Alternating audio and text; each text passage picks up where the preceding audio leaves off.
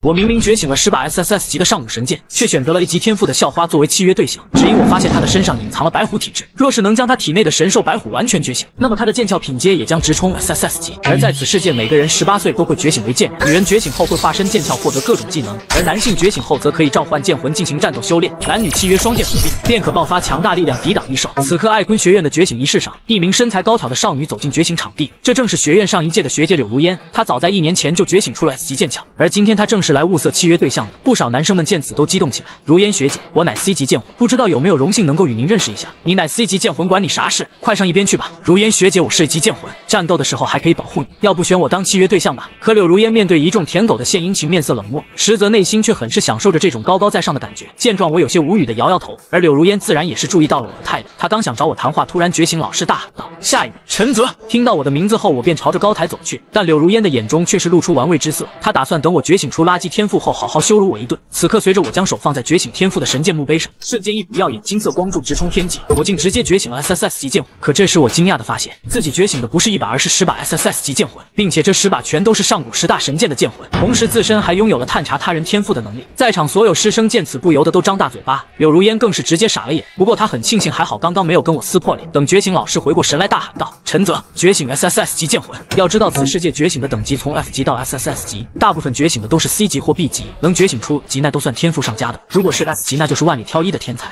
未来修炼之路基本上就是一片坦。而 SS 级放眼全球，那都是极为稀少的存在，更别提 SSS 级是怎样的存在。此时，就当我从觉醒台上下来后，柳如烟来到我的面前，开口：“陈泽，我能和你进行契约吗？只要你愿意与我契约，我愿意答应你一切要求。”话音落下，所有人很是震惊，他们没想到自己眼中的高傲女神主动起来竟是如此之狠。但我却是笑着开口道：“多谢学姐好意了，但你一个 S 级天赋和我 SSS 级天赋差距太大，我们根本不是一个世界的人。”说罢，我便转身离开开了，只留下柳如烟愣在了原地。与此同时，我的目光。投向了不远处的一个女生，这女生正是学校的校花马晨曦。她不仅长得清纯亮丽，更重要的是，我通过探查的能力发现，虽然马晨曦的天赋只有一级剑鞘，但她身上却隐藏了四神兽之一的白虎传承。若是马晨曦能成功完成传承觉醒，那她的剑鞘品阶将会直达 SSS 级，丝毫不会弱于我。柳如烟见此，内心顿时有些急了。就我这目光傻子也知道我对马晨曦有意思，于是他跑到我身前拦住了我，急忙说道：“陈泽，我可是 S 级剑鞘，别说爱坤高中了，就是整个江北市，我也是凤毛麟角的存在，你怎么可以不跟我契约？”对此，我直接选择了无视。也在这时，觉醒老。师大喊道：“下一位马晨曦。”此刻，随着他将手放在觉醒天赋的神剑墓碑上，一道勉强算耀眼的金光散发而出。觉醒老师摇摇头，叹息道：“马晨曦觉醒极剑鞘。”他本以为我看好的人天赋会很好，没想到却是如此。台下众人也都是撇了撇嘴。这时，我向着柳如烟的方向走去，而柳如烟见此，高傲的哼了一声道：“行了，我原谅你刚才的无礼了。走吧，我们去气。”他话音未落，我直接打断道：“麻烦让一下。”随后，我对着走下高台的马晨曦微笑说道：“马晨曦同学，请问您愿意与我成为契约伙伴吗？”此话一出，不光是柳如烟懵逼了，就连众师生也很是震惊。不是。陈泽疯了吧？他可是 SSS 级剑魂，居然要屈尊去和一个 A 级剑鞘契约，这不是毁了自己的前程吗？此时马晨曦听闻有些受宠若惊，他略微慌乱的摆摆手道：“不了不了，陈泽同学，我只是一级剑鞘，你可是 SSS 级剑魂，我配不上你，你难道不想与我契约吗？”听到我的疑惑，马晨曦再次摆手否认道：“没有没有，只不过你我的等级差距太大，我会拖累你。”闻言我便毫不在乎的说道：“放心吧，我不在乎这些，我只想与你契约。”话音落下，柳如烟彻底绷不住了，朝我大喊道：“陈泽，你是疯了吗？你放着我一个 S 级剑鞘不契约，宁愿去契约一个 A 级，你这是在自毁前途。”马晨曦。根本配不上你，我才是最适合你的人。对此我没理会，而是继续笑道：“你千万不要觉得你配不上我，应该是我配不上你才对。”晨曦，跟我回宿舍吧，我们现在就回去契约，免得夜长梦多。说罢，我直接拉起他的手，跑出了觉醒场。等我们来到单人宿舍后，我先是拉上了窗帘，瞬间宿舍内昏暗一片。正当马晨曦疑惑我想要做什么时，却见我满脸严肃开口道：“晨曦，麻烦你把裙子掀起来。”听闻马晨曦顿时被我这话给愣住。见此，我急忙解释道：“你别误会，如果我没有猜错的话，你应该是白虎吧？”听到我这解释，马晨曦再次愣住。他本以为我上一句已经够大的，没想到还是小瞧了我。片刻后，他不。好意思的小声道：“我的确是，你怎么知道？”见到他这样子，我心里很是疑惑。但在我回味了两句话后，尴尬的再次解释道：“晨曦，你理解错了，我说的不是你想的那个。如果我没有猜错的话，你身上应该有着四神兽之一的白虎传承，所以我才想看看你的腿。除了这个，我保证没有其他想法。”马晨曦点点头，答应让我看后，我便直接开始寻找起来。最终在他大腿根上找到了白虎印记。此时我脸上的笑意都快要压抑不住了，看来那探视的能力果然是真的。而马晨曦看着我这奇怪的笑容，开口道：“陈泽，你你好了没？”听闻我战咳了两声，道：“可以了，晨曦，这下我真确认了，你的确是白虎。”随后我拉。住他的手，事不宜迟，我们现在就开始契约吧。马晨曦点点头后，便拿出了他那柔弱剑鞘，而我见状也拿出了十大剑魂之一的鹰颈剑。就当他看我那巨剑后，不由得惊呼：“陈泽，你的剑魂好大！”另一边，一位中年男子慌忙的来到觉醒场地，这正是爱坤高中的校长黄忠。他在听到有学生觉醒了 SS 级剑魂后，就马不停蹄的赶了过来。但就在得知我已经和别人去契约了时，他悲愤的捶着胸口，仰天大喊道：“暴殄天物，真是暴殄天物啊！”而就在这时，我们两人在契约完毕后回到觉醒场，校长见此立刻跑到我身前问道：“陈泽同学，你应该还没有完成契约吧？”我耸耸肩，耿直说道：“已经完成契约了，只是过程属实是不太顺利。我的剑魂太大了，很难与马晨曦的剑鞘进行合并，最终还是在我们二人的共同努力下才彻底完成契约。”此话一出，校长顿时石化在原地。你怎么可以这么轻易的决定契约这等大事？这种大事难道你不应该思考一会再做决定吗？你身为 SSS 级天赋，未来可是前途无量，怎么能去契约一个小小的级？对此，我只是淡淡开口道：“谁说我只可以跟一个人契契约的？”校长闻言呆愣了片刻，下一秒双眼惊喜的看向我道：“陈泽，你的意思是你能够再契约一人吗？”我只是淡淡的点点头，就引起了众人的惊讶与震惊。要知道，能够觉醒出多个剑魂的人，无一例外的都成为了绝世强者。这些天才不仅可以和多个女生契约组合，就连实力和修行速度都是同阶御剑师的好几倍。此时，校长见我点头确认，咳了两声，对我说道：“陈泽呀，既然你的第一个契约者已经选择了极剑鞘的马晨曦，那么第二个契约人选那可得好好考虑了。你可不能再意气用事，再浪费你的天赋了呀！”我淡淡点点头，放心吧，校长，我会好好决抉择的。话音落下，人群中的柳如烟兴奋地跑到我面前：“陈泽学弟，既然你还有一次契约的机会，那不如选择我来契约吧。我不会耽误你和马晨曦的感情的，只要你愿意和我契约就行。我是 S 级剑鞘，能够给你起到很大的帮助的。”这时，校长咳了两声道：“那个，我宣布个事，我们江北市官方决定，一个月之后会举办一场天骄御剑师大赛，第一名除了丰厚的奖励外，还可以跟本市的一名 SSS 级剑鞘的天之骄女契约。希望各位同学踊跃报名。”随后，校长扭头对着我劝道：“所以陈泽呀，我觉得你目前可以不用那么着急契约，而是等待一个月之后的比赛开始，凭你你的天赋拿下这场比赛的第一名不会有什么问题的。”对此，我却是摇头拒绝道：“不用了，校长。对于第二名契约人选，我心中已经有打算了。”就在柳如烟听到我的话时，很是兴奋：“陈泽，我就知道你一定会和我契约的，你放心，我和你契约之后。”说着说着，柳如烟还想拉住我的手，却被我直接躲闪开来，问道：“学姐，我什么时候说要跟你契约了？就你这天赋，是怎么敢妄想跟我契约的？谁给你的勇气？”话音落下，我便朝着班级里走去。此时，班里的女生顿时都变得有些激动。陈泽朝我们走过来了，他第二个契约对象不会就在我们班吧？应该是了。你看陈泽在看我，哎，他是不是想跟我契约呀？在班里一众女生期待的目光中，我却走向了正在吃瓜的叶之遥面前，笑着说道：“班主任，我能够成为您的契约对象吗？”此话一出，所有学生都震惊了。叶之遥更是急忙拒绝道：“陈泽，你别开玩笑了，我可是你的班主任，怎么可以跟你契约呢？”对此，我却是反问道：“那老师，你有契约对象了吗？”这倒是没有，但是既然没有，我们为什么不能契约？听着我的疑惑，叶之遥半天也想不出一个好理由，而我的声音却再次传来：“老师，相比于 SSS 级天骄，我的第二把剑魂属性跟老师您更相配，我想与您契约并没有什么私心，我只想着变强，随后为人类做出贡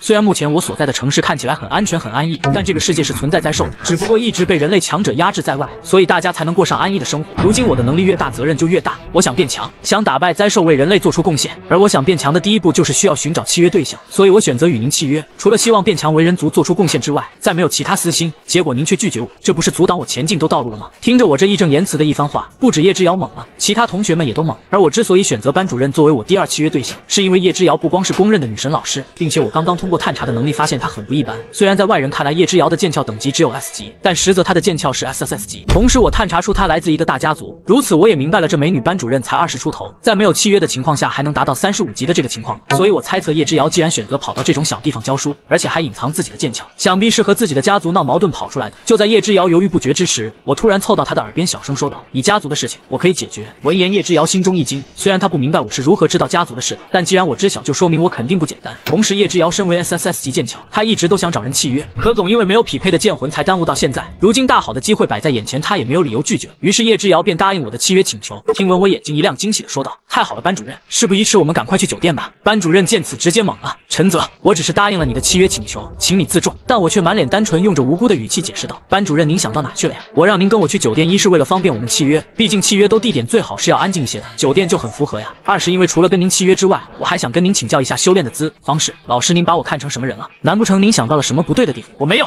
我我就是你那个意思。叶之遥急忙辩解，只是脸庞越来越红。那行吧，我们现在就过去吧。随后我拉着马晨曦，带着叶之遥离开了觉醒场。等来到酒店开好房间后，我对着叶之遥兴奋说道：“老师，我们快点契约吧，我的剑魂已经饥渴难耐了。”听闻叶之遥脸红的指责我道：“你瞧瞧，你嘴巴里面说的都是些什么话？你有一点高中生的样子吗？”我面色无辜的解释道：“老师，我只是想尽快的跟您契约而已。您又想到哪去了？”此时叶之遥的面庞变得粉红，他在狠狠瞪了我一眼，再次朝我询问道：“陈泽，你真的做好好了跟我契约的打算了吗？既然你能够知道我家族那边的事情，那想必你也可以看出来我 SSS 剑鞘的秘密。但我家族那边的琐事我都无法解决，你若是选择跟我契约，恐怕我会给你带来天大的麻烦。对此我却毫不在意，毕竟自己可是有着十大 SSS 级剑魂傍身，就算是我主动去找别人的麻烦，别人都根本不敢拿我怎么样。放心吧，班主任，这些。些事情你不用再担心了。我既然说了我有办法，那我就一定能够解决。此时马晨曦在听到叶之遥的真正剑鞘等级是 SSS 级时，自卑的低下了头颅。见状，我握住他的玉脚，安慰道：“晨曦，不要感到自卑，你可是有着神兽传承的。你要是觉醒起来，说不定比班主任的 SSS 级剑鞘还要强。”马晨曦点点头后，我便召唤出了第二把剑魂霸王剑，顿时一股威压涌在房间中。传说这霸王剑是曾经一位帝王所使用的佩剑，其气势霸道无比，上面蕴含的杀气能够镇压世间一切邪物。叶之遥见此很是满意，只感到他自己的勺臂剑鞘已经在蠢蠢欲动。就在将其召唤出来时，他那勺臂剑鞘在他身边四处游动，看起来十分的不安分。可在感受到霸王剑身上那股王霸之气后，顿时不敢再乱动，而是臣服在了霸王剑之下。叶之遥见状，心生喜悦道：“陈泽，我们快点完成契约吧。”可片刻后，叶之遥艰难的声音传来：“陈泽，你的霸王剑太 big，我的勺臂剑鞘似乎有点承受不住。”没事的，老师一开始都这样，习惯了就好了。磨合期过后，我的霸王剑终于与叶之遥的勺臂剑鞘双剑合璧，俩人也在此刻完成了契约。此刻我满头大汗的瘫倒在床上，但在休息片刻，感到精力恢复后，我从床上兴奋坐起，朝叶之遥说道：“之遥，既然已经契约完毕了，那我们尽快开始修炼吧。”叶之遥点点头，无脑的去修炼，进度可是很慢的。既然如今你我已经契约，那不如一同修炼，速度更快。这一同修炼的第一步就是双剑入鞘。待会你召唤出自己的剑魂，我会化作我的勺臂剑鞘，由你来入鞘。我点点头后，我们便开始了修炼。随着我们两人的不断尝试，终于我的霸王剑和叶之遥的勺臂剑鞘有了最初的契合，而俩人也感到自己的修为得到了提升。但这个过程，马晨曦却是看得心惊肉跳，他不敢想象自己柔弱的剑鞘面对我这剑魂会有多痛。这时我看着面色挣扎的马晨曦笑道：“晨曦，你也来吧。”啊，我不行的，没事的，我有经验，我来帮你。说罢，我召唤出樱井剑。马晨曦见此，也只能召唤出自己的白虎剑鞘。经过一个小时的磨合，我的樱井剑终于和马晨曦那娇小的剑鞘得到了契合。但这个过程，两人都十分痛苦，因为叶之遥的剑剑鞘是水属性的，所以至少还有着柔和的感觉，且会主动贴近我的霸王剑。俩人想要完成合璧也没那么困难。但马晨曦的剑鞘则是属于火属性的，那便有一种极致的紧致，加上他是刚刚觉醒的缘故，剑鞘还没有彻底复苏，以及我樱井剑能量太强，所以两人合璧的过程可谓是十分的困难。好在俩人最终还是完成了最后一步。刚才哭哭啼啼的马晨曦也安静了下来。随着俩人的修炼后，马晨曦只觉得体内暖洋洋的，有一股强大的力量在慢慢的增加。仅仅只是一个下午的修炼，我和马晨曦的等级便飞升般的来到了十五级，正式达到了剑士等级。而叶之遥虽然等级较高，但陪着我修炼的这一个下午，他的等级也来到了二十九级，仅仅只差一步便可突破到三十级大剑士。这时叶之遥兴奋地对我说道：“陈泽，我教学那么多年，还是第一次遇到修炼速度如此骇人的情况，这简直不可思议。”此时的我有些虚脱，因为现在我的修为还是太低，控制如此强大的剑魂难免有些力不从心。现在的我宛如一个累坏的老牛。马晨曦也开口道：“这修炼速度快是快，但陈泽的剑魂能量实在太强了。刚才合璧的时候，我感觉我的剑鞘都要被那股强大的灵气撕裂了。不过好在后面适应了，我现在觉得自己的力量越来越强了。”听闻我兴奋地说道：“变强了，好啊！变强说明你的白虎血脉正在慢慢觉醒，恐怕用不了多久，你的剑鞘就能达到 SS 级了。”叶之遥想到了一个月之后的天骄比赛，对我笑道：“陈泽，凭你目前的修炼速度和实力，一个月之后的比赛，你夺冠的概率肯定很大。只是可惜了。”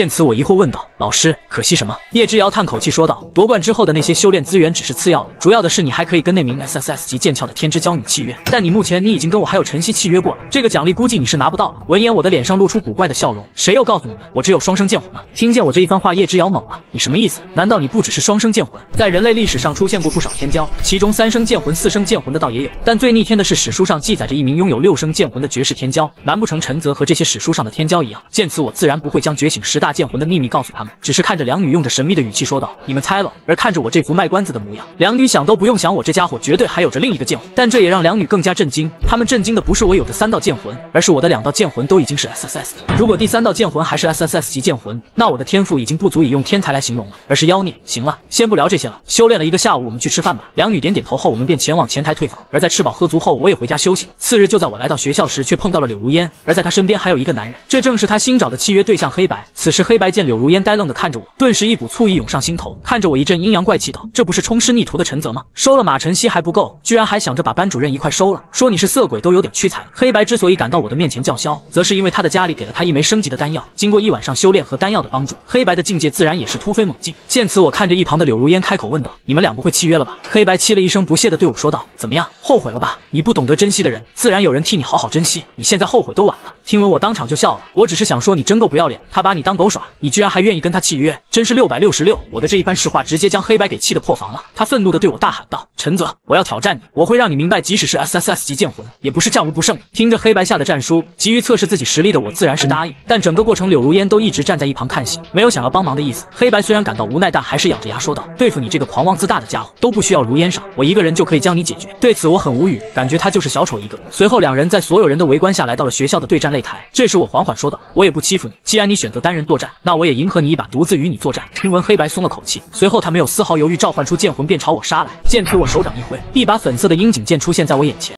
苏白无奈的看着吴昊，这家伙总是懂得给自己找台阶下，脸皮之厚堪比防御塔。随后，俩人在所有人的围观下来到了学校的对战擂台，在台下所有人的注视下，苏白缓缓说道：“我也不欺负你，既然你选择单人作战，那我也迎合你一把，独自与你作战。”吴昊见苏白也是单人作战后，松了口气。他感受着自己体内五级的境界，随后他召唤出自己的剑魂，便朝着苏白杀来。看着握着剑魂杀来的吴昊，苏白手掌一挥，粉色的樱井剑陡然现身。看着苏白手中那堪比一个人高的巨剑，吴昊心中升起了退堂鼓。但苏白哪会给他这个机会？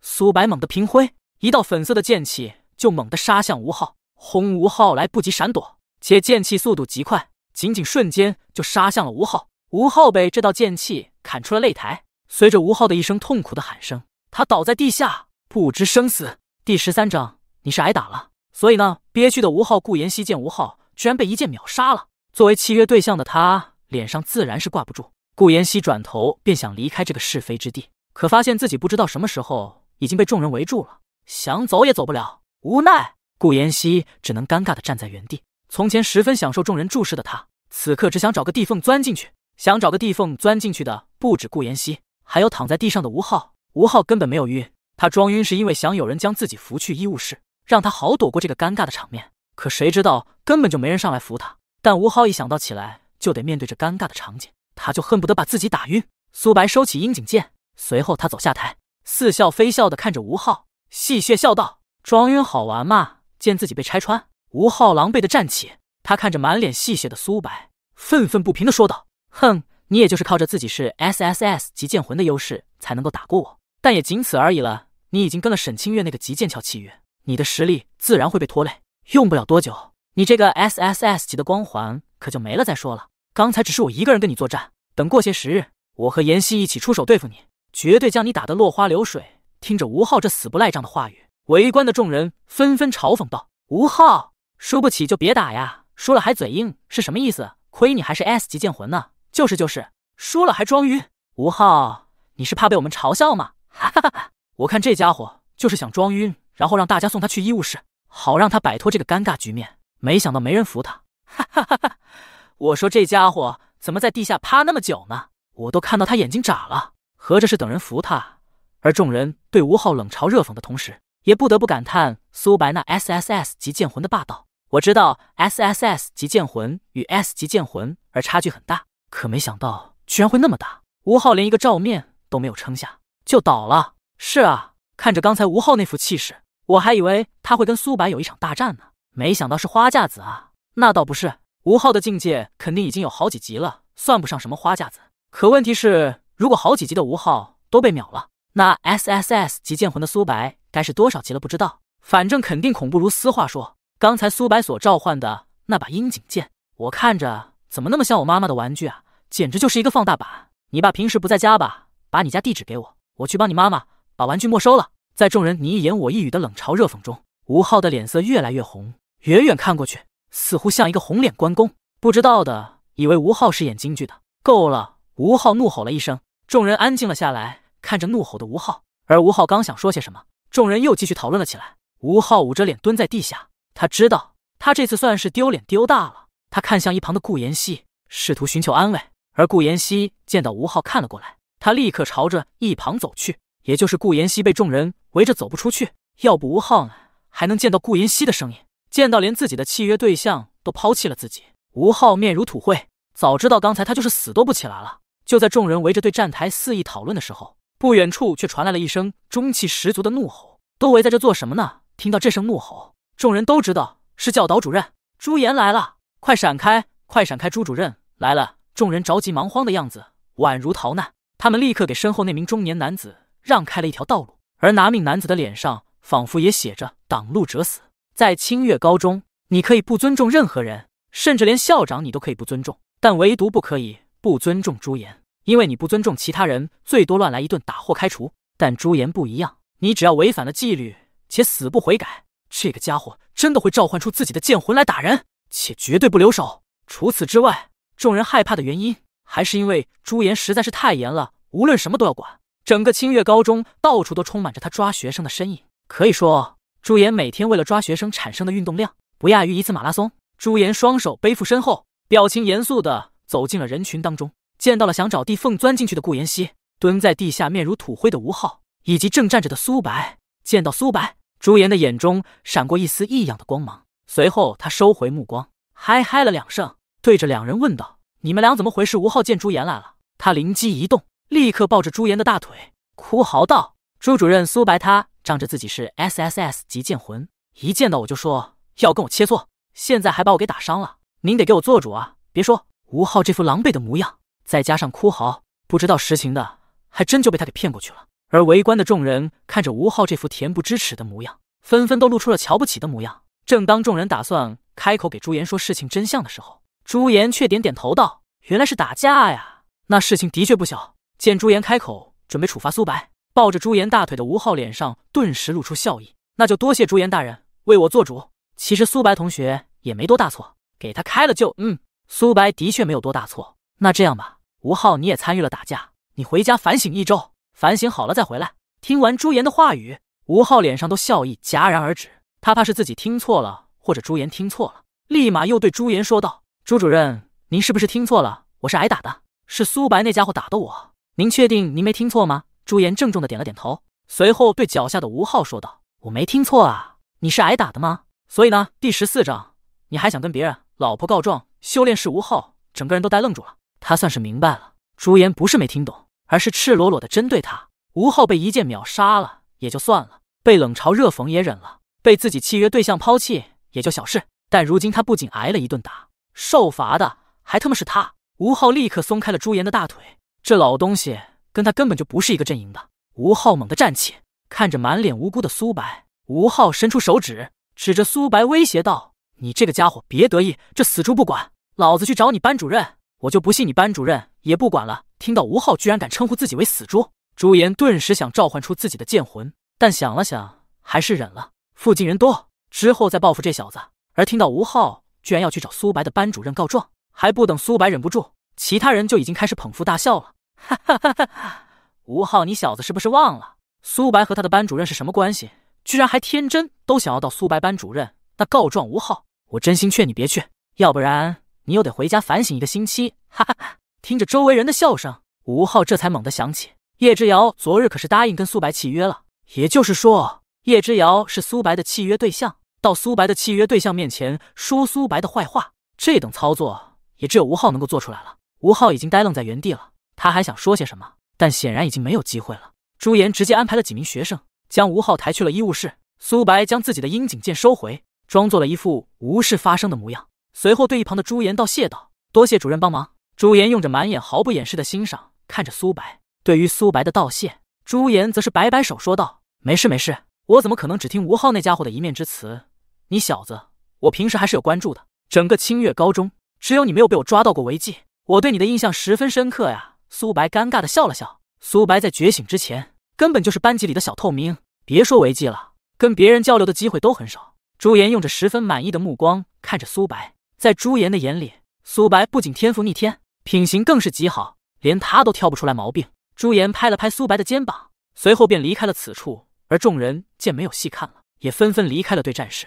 众人离开之后，一直处在人群里的顾妍希终于是松了口气。他第一次觉得被那么多人围观的滋味。是那么的不好受。顾妍希此刻对于吴昊已然是十分鄙夷的。这家伙不仅没法帮自己找回场子，更是把他的脸给丢光了。顾妍希苦恼的想着，忽然想到自己还认识着一个干爹，吴昊帮不上自己，这个干爹绝对可以帮上自己了。随后，顾妍希也不再耽搁，他着急忙慌的离开了对战室，准备前往校外找自己那个干爹帮忙。而苏白看着宛如逃难一般离开对战室的顾妍希，苏白耸耸肩，也离开了对战室。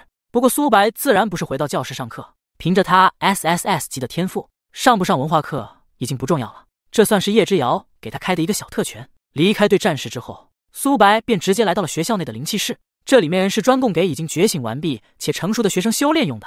当然了，在灵气室内修炼自然是不需要钱的，一切修炼的费用全部都是学校出，足以看出学校对觉醒生的重视。会议室外有着保安把守着，一是为了保护灵气室内的器械。二是为了防止一些好奇的学生入内。曾经有着一名还未觉醒的学生，因为好奇灵气室内有什么，便直接偷跑了进去。可一名觉醒生却没有注意到身后的那名偷跑进来的学生。那名觉醒生一挥剑，就将那名偷跑进来的学生的头颅给砍了下来。这样的事情在以前屡见不鲜。后来所有学校都给灵气室配备了两名保安，这样的事件也就少了很多。见灵气室内已经有很多人修炼了，苏白正想进去，却被门口的保安给拦住。保安满脸严肃的对苏白说道：“证件。”苏白不慌不忙，都从兜里拿出了一张小本，小本上则是刻着“金灿灿的通行证”三个大字。保安接过证件，仔细的查看了一会，确认无误之后，这才交还给苏白。而苏白也就此进入了灵气室内。按道理讲，苏白这种刚刚觉醒的觉醒生是不允许来到灵气室的，因为刚刚觉醒，对于自身力量的把控还不到位，所以还不允许进入灵气室，只允许觉醒时间一年以上都学生进入。但叶之遥知道，凭苏白的天赋。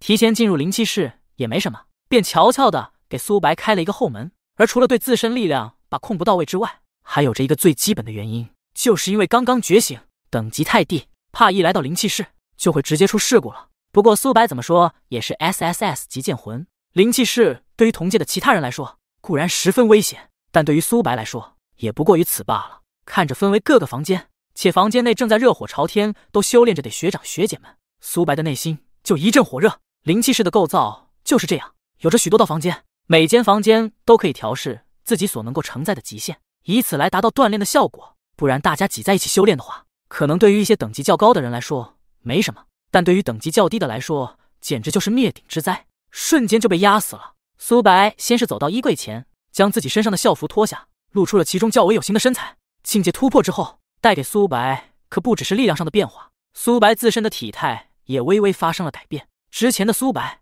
身形是算比较瘦弱的那一种，但突破到剑士之后，苏白的身形开始慢慢增强，到如今看起来不算健壮，但也绝对称不上瘦弱了。苏白找了一个没人的房间，随后就走了进去，准备开始修炼。第十五章恐怖的修炼速度。苏白赤着上身站在房间之内，随后房间内一道冷漠的机械声响起：“请选择灵气浓度。”苏白甩了甩臂膀，随后不假思索地回答道：“两倍灵气浓度，已调试完毕。”机械声落下的瞬间，苏白周身那淡薄的灵气缓缓变得浓郁起来，让苏白感到一阵暖洋洋的。苏白能够感知到，两倍灵气浓度的状态下，他修炼的速度绝对会比之前那淡薄的灵气范围下快上不少。但苏白还是对这个浓度的灵气有些不满意，索性苏白继续喊道：“调试到五倍灵气浓度，已调试完毕。”还是那道冰冷的机械声，随着机械声落下。苏白所处的房间内的灵气浓度陡然拔高到一个新的层次，周身的灵气转换到五倍之后，苏白只是觉得自己的行动微微变得有些迟缓。但同样的，五倍灵气浓度下，苏白对于灵气的敏感度在上一层。觉醒等级越高，证明对灵气的感知能力更强。灵气的感知能力强，就代表修炼速度够快。苏白之所以能够一个下午就能够达到十五级剑士，除了沈清月、叶之遥二人的帮助下，苏白自身的修炼天赋也是不容小觑的。作为 S S S 级剑魂的苏白，他一个下午的修炼就足以赶上 S 级剑魂大半个月的苦修，这就是天赋的差距。苏白微微运转灵气，开始修炼，发现效果虽然略逊之前与叶之遥、沈清月两人的双修，但速度已经很快了。当然了，这个速度苏白依旧是不满意。他又喊道：“将灵气浓度调试到十倍，已调试完毕。”话音落下，苏白所处的房间内的气势猛地一变，而刚才只是行动微微受阻的苏白。目前却能够感受到一丝威压，这威压叶之遥也与苏白讲解过，这威压名为灵压，会在灵气过于浓郁的程度下所产生。灵压有强有弱，灵气浓度越高，灵压也就越强。而苏白已经将灵气浓度调试到十倍，也仅仅只感受到一丝威压。这一丝威压，那是对于苏白来说，随便换一个极剑魂的人进来，恐怕刚进来就瞬间被压趴在地上了。而苏白将灵气浓度调试到十倍的声音。也传到了附近的房间内，房间内的学长学姐们见居然有人将灵气浓度调试到十倍，顿时好奇的停止修炼，纷纷出来查看。倒也不是没人能够将灵气浓度调试到十倍，但能抗住十倍灵气浓度的，在整个江北市也称得上一句天才了。所以大家才想着看看，看看这个能够将灵气调试到十倍且还没有要求下降的人究竟是何方神圣。可当他们聚到苏白的房间，看到房间内苏白那张稚嫩且陌生的面庞后，却忽然有些疑惑，这等天骄，大家就算没见过，但大多也都听说过。可房间内的这个人，在场的人居然无一人认识，这不由得让众人有些疑惑了。苏白没有理会房间外的众人，十倍灵气浓度正好堪比苏白与两女配合的修炼速度。苏白直接盘坐在地面上，随即他为了不太显眼，只召唤出自己的阴景剑开始修炼。众人对着苏白所在的房间议论纷纷，都在讨论着房间内的苏白究竟是何方神圣，居然有着那么强大的抗压能力。苏白在十倍灵气浓度的房间内修炼了片刻，虽然修为在缓步上升，但还是令苏白有些不满意。等级越高，境界越难胜。如今苏白已经是十五级的剑士，若是还在十倍灵气浓度的状态下修行，恐怕一个下午也就突破一级。这样的速度已经十分的骇人。毕竟众人若想突破一级，哪个不得经受着好几个月的苦修？但作为天骄，苏白显然对这个速度不满意。他都是 S S S 级剑魂强者了，这个速度说出去，岂不是笑掉别人的大牙？苏白结束了修炼，他继续朝着上方喊道：“将灵气浓度调试到十五倍，十五倍灵气强度，灵压力量将直线上升。”这次那道冰冷的声音居然说出了其他不同的话，但苏白还是没有改变自己主意的打算。调已调试完毕，轰！调试完毕的那一瞬间。空中一道道恐怖至极的灵压不断的往下输送，苏白也猛然感受到头顶的一股巨力。看着房间内那恐怖的灵压波动，房间外的众人甚至都感觉地板在颤抖。他们不敢置信的看着苏白的房间，喊道：“这哥们疯了吧？居然将灵压调试到十五倍，会变成肉泥的呀！”然而，苏白被压成肉泥的场景并没有出现。房间内的苏白不急不忙的稳固住身形，随后他缓缓调动灵力，抵抗着灵压。片刻之后。苏白的灵力抵抗与头顶的灵压形成了一个绝对的平衡，苏白所感受到的那股巨力也消失的无影无踪。但房间外的众人可不知道苏白目前的所作所为，他们透过了玻璃罩，只看到了能在十五倍重力下游刃有余的苏白。众人看着这一幕不禁啧舌，这可是十五倍的重力啊！就算是二十级的剑师都不敢说能够硬抗，结果房间内的那个家伙就这么抗了下来。我们清月高中什么时候出了这么一个天才的娘的？我才能抗五倍的重力，这家伙就十五倍了。他是哪里冒出来的妖孽？我以前怎么没见过？我记得校记录好像也就十八倍的灵气浓度吧。真不知道这哥们是什么境界，剑师吗？苏白将灵压抵抗住之后，便开始了修炼。苏白惊喜的发现，在十五倍灵气浓度下，修炼效果比和叶之遥、沈清月两人修炼的效果还要好。苏白满心欢喜的开始了修炼，全然没有注意到他所修炼的房间外人越聚越多，最终挤满了整个灵气室。片刻之后。苏白感到体内灵气已经消耗一空，但同时他的修为也提升了好几级。其实苏白还可以调到更高的灵气浓度，不过那样体内灵气消耗也会更快，就得不偿失了。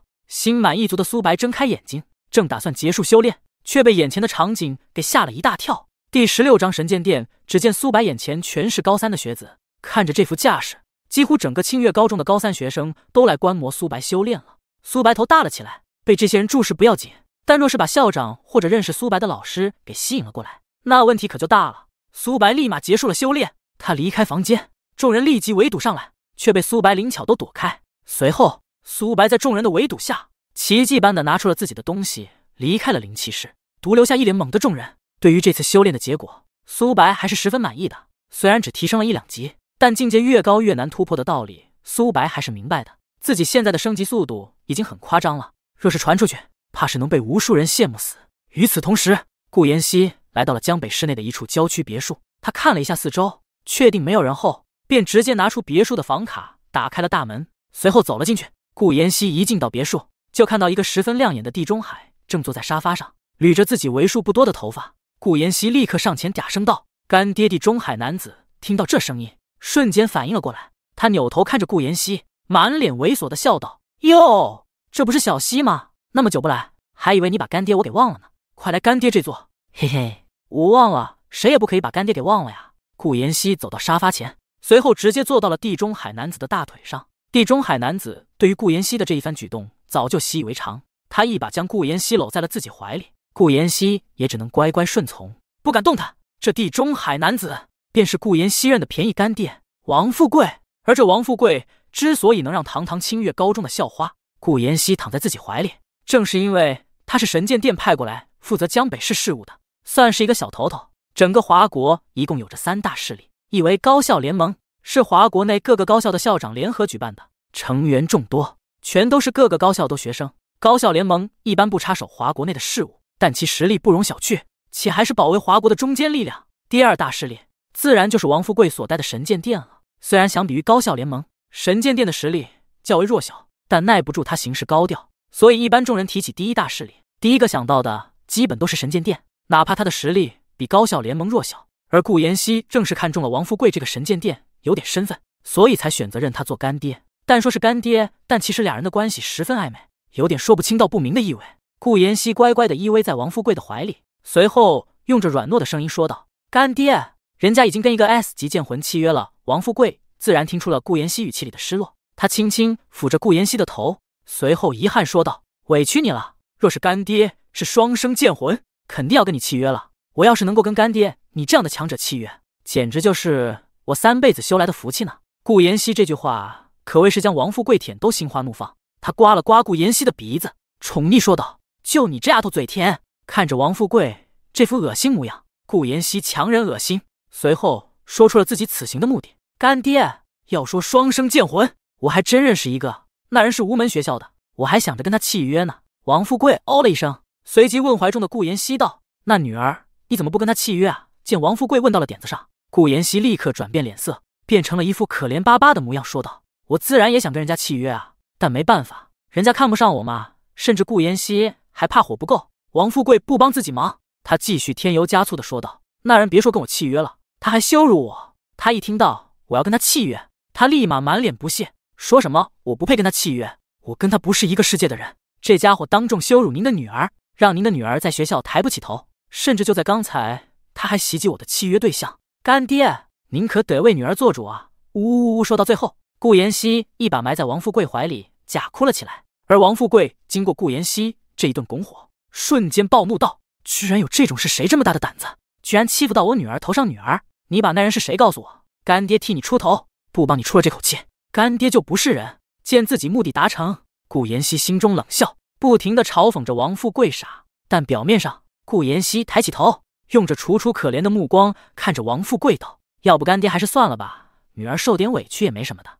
再说了，您可是五十多级的剑王境界啊，对他出手不是犯法的吗？神剑殿有着明文律法规定，高境界的武者不允许对低境界的武者出手，这也是为了保护一些还未成长起来的天骄。”否则，恐怕很多天才怕是还没成长起来，去前线对付灾兽，就已经死于各种恩怨手下了。更别说像苏白这样觉醒了 S S S 极剑魂的绝代天骄，怕是王富贵只要敢在明面上对他出手，下一秒就要完蛋了。别看他已经是五十多级的剑王境界了，但在真正的高手面前，根本就算不上什么。王富贵自然也知道这一点，他冷笑一声，随后说道：“这一点干爹自然知道，虽然我没有办法亲自针对他，但没关系。”干爹有其他办法，保证让那小子难受。看见王富贵这副模样，顾妍希再次将头埋进了王富贵怀里，用着那道苏死刃的声音撒娇道：“干爹，你真好，妍希最爱你了。”看着怀里的顾妍希，王富贵眼中没有一丝爱意，只有无尽的欲望。而靠在他怀里的顾妍希，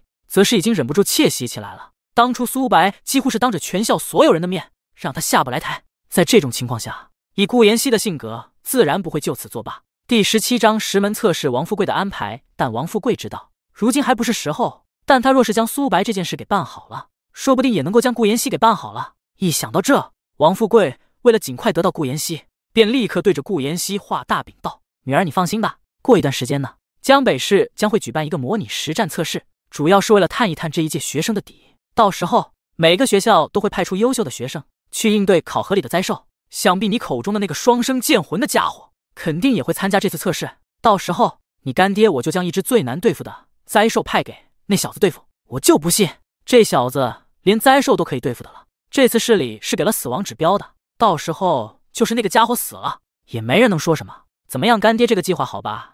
顾妍希再度一把投进王富贵的怀里，撒娇道：“干爹真是太厉害了，连这种办法都想得到。到时候一定让苏白那个家伙吃教训。”时间过去了几日，这几日苏白的生活十分平稳。依旧是不停的在跟沈清月和叶之遥修炼。至于灵气室，苏白已经不敢去了，毕竟上次苏白去灵气室已经掀起了那么大的波动，这次再去被人家认出来就麻烦了。不过跟沈清月、叶之遥俩人双修带来的效果依旧不错。苏白如今的境界已经突破到了十八级剑士，差两级便可达到剑师这个阶段了。而沈清月的进步依旧不小，虽然境界比苏白低了那么一点，但进步已经十分骇人了。苏白正与叶之遥吃着饭，看着狼吞虎咽的苏白，叶之遥却连一点不满都没有。毕竟苏白这几日可是让他十分满意。自从跟苏白进行修炼之后，叶之遥之前需要一年甚至两年才可以突破一级，如今却只是短短几天，叶之遥又升了一级。叶之遥的升级速度如此之快，自然是离不开苏白的帮助的。所以孩子乐意吃点就吃点呗，谁让苏白卖力呢？可叶之遥还是低估了苏白的食量。待到苏白吃饱之后，他面前的盘子已经堆得跟小山一样高了。看着堆叠成小山的菜盘，叶之遥嘴角抽搐。也就是他是家族子弟了，要不就他当老师那点工资，能够给苏白造几顿啊？格苏白靠在靠椅之上，他摸着圆滚滚的肚子，舒坦的打了个嗝。毕竟宰大户的机会可不是天天都有，当然得抓住机会吃饱了。随后叶之遥便喊来服务员结账，看着价格，哪怕是富婆叶之遥都难免感受到一丝肉疼。俩人吃完之后，便并肩走出了饭店，回到了学校。苏白打了个饱嗝，而天空之中却传来了异样。只见虚空之中，一道巨大的裂缝被缓缓撕开，而裂缝被撕开出一道大口子之后，一座看起来巨大厚重的石门缓缓从其中出现。石门看起来充满了古朴的气息，其表面玄妙的符文似乎蕴含着某股力量，使得天空都在颤抖。而这一座石门就这么出现在空中，一动不动。看着天空之中那道巨大的石门，苏白用牙签剔了剔牙，随即朝一旁表情惊讶的叶之遥问道：“老师，这是咋回事？”叶之遥的表情略显惊讶。听到苏白的疑惑之后，叶之遥才有些错愕的解释道：“这这是石门测试，这是每年觉醒日之后。”因为大量新生进行觉醒而引发的天地异象，可以往都是两三个月后才出现的。没想到今年居然出现的那么早。石门测试顾名思义，就是为了测试每一年新生们的实力。测试的方法也很简单，石门一共有三十三道，遇见师们使用自己的剑魂去攻击石门，击碎的石门越多，奖励就越丰厚。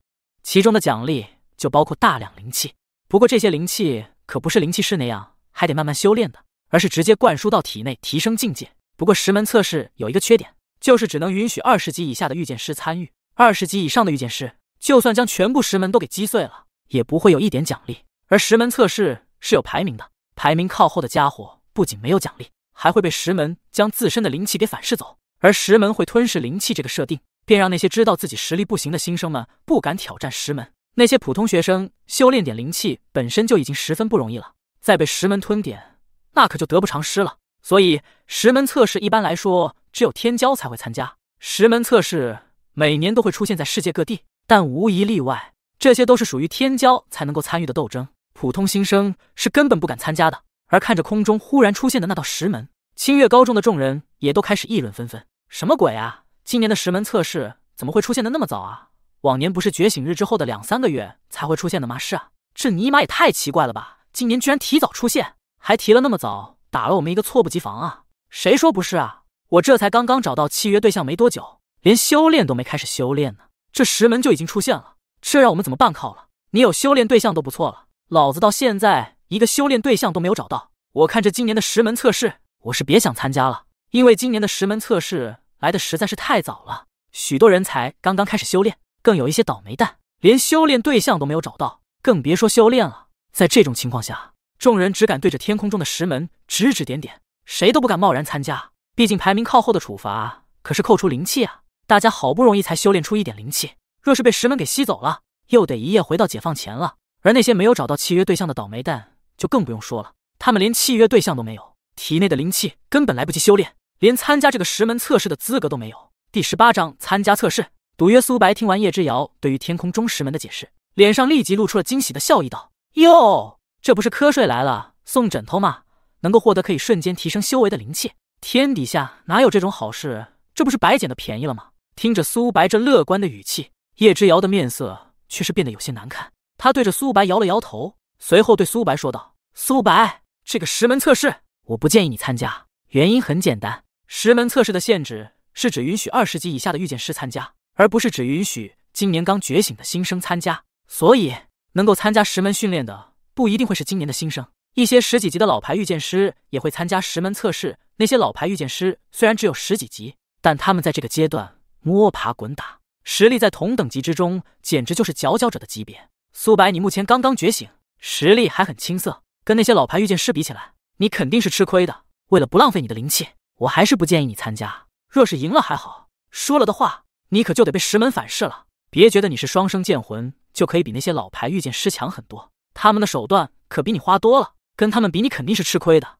而且这个石门测试，我无法跟你一起参加，我的境界早就超过了二十级了。你若是想参加，还得喊上清月。苏白点点头，这个石门测试，苏白是定然要参加的。毕竟苏白目前正发愁着修为提升太慢，想找些法子快速提升修为呢。如今眼前有着这么好的一个机会摆在眼前。苏白自然不可能不珍惜，而是得牢牢抓住。可吴昊那个狗腿子不知道从哪里冒了出来，他仿佛是好了伤疤忘了疼，立刻站了出来，对苏白嘲讽道：“哟哟哟，苏白，看来你只能跟沈清月那个极剑鞘参加石门测试了。他那个极剑鞘不知道得拖你多少后腿呢。这就是你当初选择沈清月契约的代价。现在傻眼了吧？你一个 S S S 极剑魂，居然要沦落到跟一个极剑鞘的一起参与试炼，想想还真是凄惨呢。”苏白瞥了一眼。正站在一旁不停叫嚣的吴昊，苏白只是淡淡问道：“怎么好了伤疤忘了痛，又来我这找刺激？是不是我给你一剑，你就老实了？”苏白直截了当的揭起了吴昊的伤疤。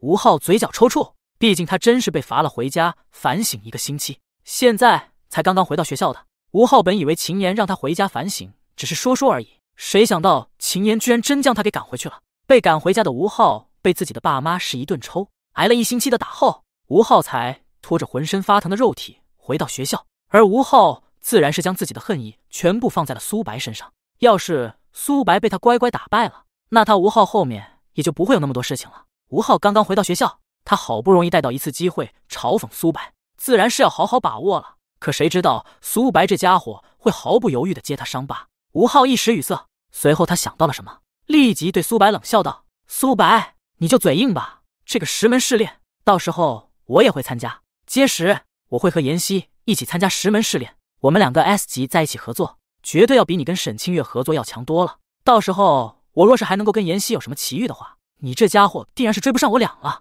到时候我看你还敢不敢那么嚣张？对于吴昊刚才的发言，众人心里虽然十分不爽，吴昊的恬不知耻，但还是有点认同吴昊的话语的。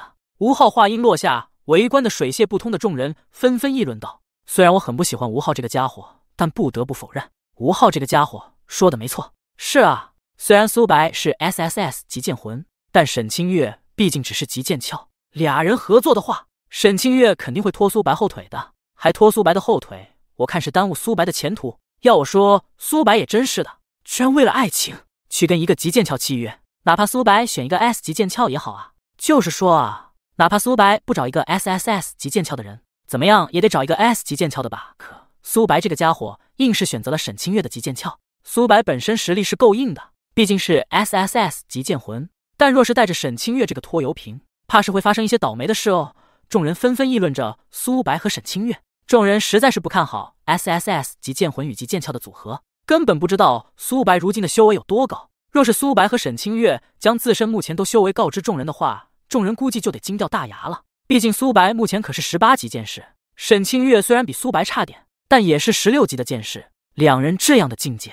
别说高三的了，就连普通武大的大一学子都不一定有着这样的修为。俩人的修炼天赋已经十分骇人了。听着周围人越来越大声的讨论，吴昊刚才那本来有些忐忑的内心，此刻安定了下来。他看着身处议论人群却依旧是面不改色的苏白，吴昊对苏白说道：“苏白，不如咱俩打个赌吧。”苏白歪了歪头，随即问吴昊道：“赌什么赌？你能够抗我几剑吗？”我觉得只能一剑，当然不是这个了。见苏白又提起了自己的伤疤。吴昊立即气得怒吼，而苏白则是掏了掏耳朵，显然没有将怒吼的吴昊放在眼里。看着苏白这一副不在意的模样，吴昊差点血压飙升。随即他平复了一下心情，继续对苏白解释道：“咱俩打个赌吧，就赌这次谁打破的石门多。谁要是打破的石门更多，那输的那方就得答应赢得那方的一个条件，怎么样？”嗯，见苏白一副沉思的模样，吴昊立即使用了激将法。不是吧，堂堂 S S S 级剑魂！居然还不敢答应我的赌约，我答应你。第十九章，沈清月终于同意了苏白淡淡的答应了吴昊的赌约。他实在是不明白，吴昊这家伙记吃不记打吗？怎么还敢找他麻烦？而周围的同学们见苏白居然还真答应了吴昊，顿时有些傻眼。毕竟大家都认为苏白断然不会答应吴昊的赌约的啊！苏白还真答应吴昊了呀？这不是给自己找麻烦吗？是啊，吴昊那家伙有家里的丹药扶持，现在修为肯定很高。苏白这下答应他，不是吃亏了吗？是啊，而且到时候吴昊与顾妍希联手进行石门测试，肯定要比苏白跟沈清月联手的效果要更好啊。毕竟沈清月也只是极剑鞘，得拖苏白后腿了。虽然苏白是 S S S 极剑魂，但大家毕竟才刚刚觉醒，苏白就算再怎么天才，也不可能在这么短的时间就拉开差距吧。且吴昊那家伙还有着家里给的丹药来辅佐修炼，他自身又是 S 级剑魂，在众人眼里，目前俩人谁境界更高，那还真不好说。殊不知，苏白早就将众人甩得远远的，来到了十八级剑士这个层次，已经足够碾压所有人了。不过，苏白从觉醒到现在，一直都没有暴露过自己是什么境界，唯一一次出手，也只是一剑将吴昊秒杀。所以，众人对苏白实力的概念还十分模糊。正是因为苏白的低调。惹得大部分人都觉得目前苏白的境界还很低。整个清月高中了解苏白真正实力的，恐怕只有沈清月和叶之遥了。见苏白还真答应了自己，吴昊喜出望外的笑了一声，显然没想到苏白居然会真的答应他。同时，苏白在吴昊的心中已经变得十分弱小，毕竟只是微微使用激将法就可以上钩的人，能强到哪里去呢？吴昊自然不会放过这个罕见的装逼时刻，他嗨嗨两声，随后不屑的对苏白说道：“苏白。”你现在反悔可还来得及。虽然你契约了两个人，但你可别忘了，你的班主任可是超过了二十级，你到时候只能跟沈清月一同合作了。就沈清月那级剑鞘，到时候得有多拖你后腿，你自己清楚吧。还是考虑清楚吧。不敢应战也无所谓的。虽然话是这样说，但吴昊还巴不得苏白答应呢。吴昊本身其实并不想参加这次石门测试的，因为每年的石门测试高手如云，总会冒出一些顶级的剑士。而像吴昊这种刚刚觉醒的，一旦参加，那必然是垫底的存在。虽然吴昊和顾妍希都是 S 级，但俩人且不说经验，他们俩的技能和等级也就那么回事。一旦垫底被吸走了灵气，可有的两人肉疼的了。但若是苏白和沈清月参加，就不一样了。沈清月一个极剑鞘，任苏白再怎么强，也多半会被拖后腿。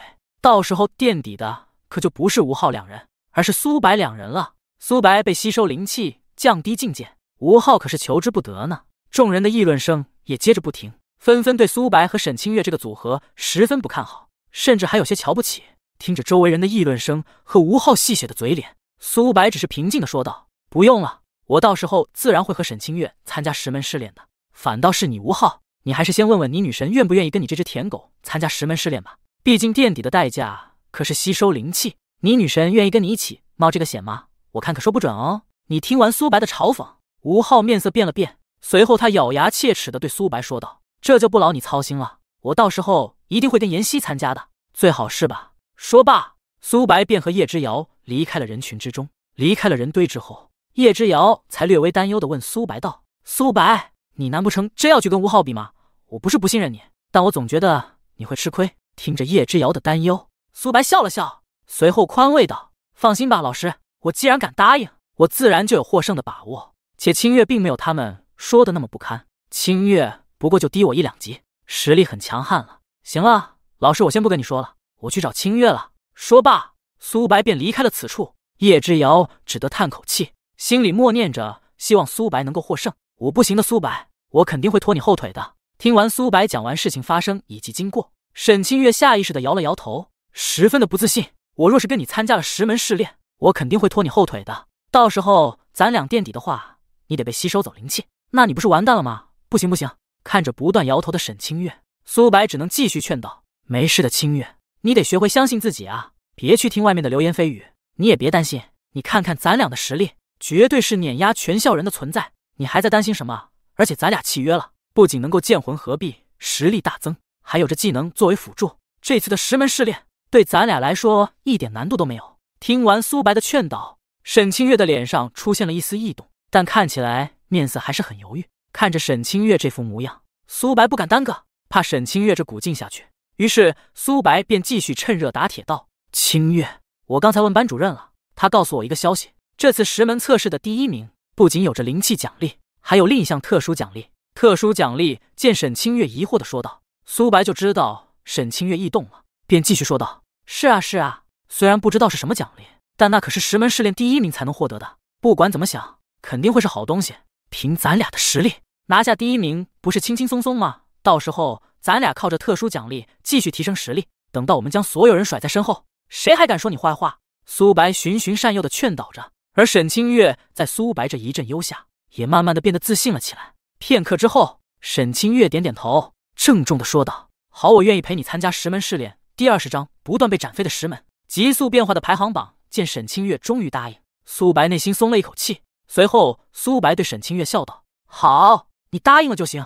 那我们明天见。”“好，明天见。”随后，苏白便满心欢喜的离开了沈清月的宿舍。而沈清月脸上的担忧则慢慢转变成了坚定。所有人都在说沈清月会拖苏白后腿，那沈清月就定然要证明给所有人，包括他自己看，他沈清月不是拖油瓶，而是一名合格的契约伙伴。时间很快来到了第二天，虚空之中那道裂缝已经彻底的撕开了一个巨大的口子，而整个石门的原貌也终于呈现在众人眼前。虚空之中，一座看起来古老的石门屹立在其中，它身上爬满了扭曲的藤蔓，石头不知经历了多少年的风吹雨打。才造就了如今的古朴。而在石门的一旁，还屹立着一个石头制作的巨大卷轴，看起来如同一个榜单。这块石质榜单散发着玄妙的气息，一看就不是凡品。上面没有任何雕刻的混迹，好似浑然天成。如石门试炼这种天地异象，每个地区都会出现。不过地区的范围实在太广阔了，所以整个江省的天才都来到了江北市。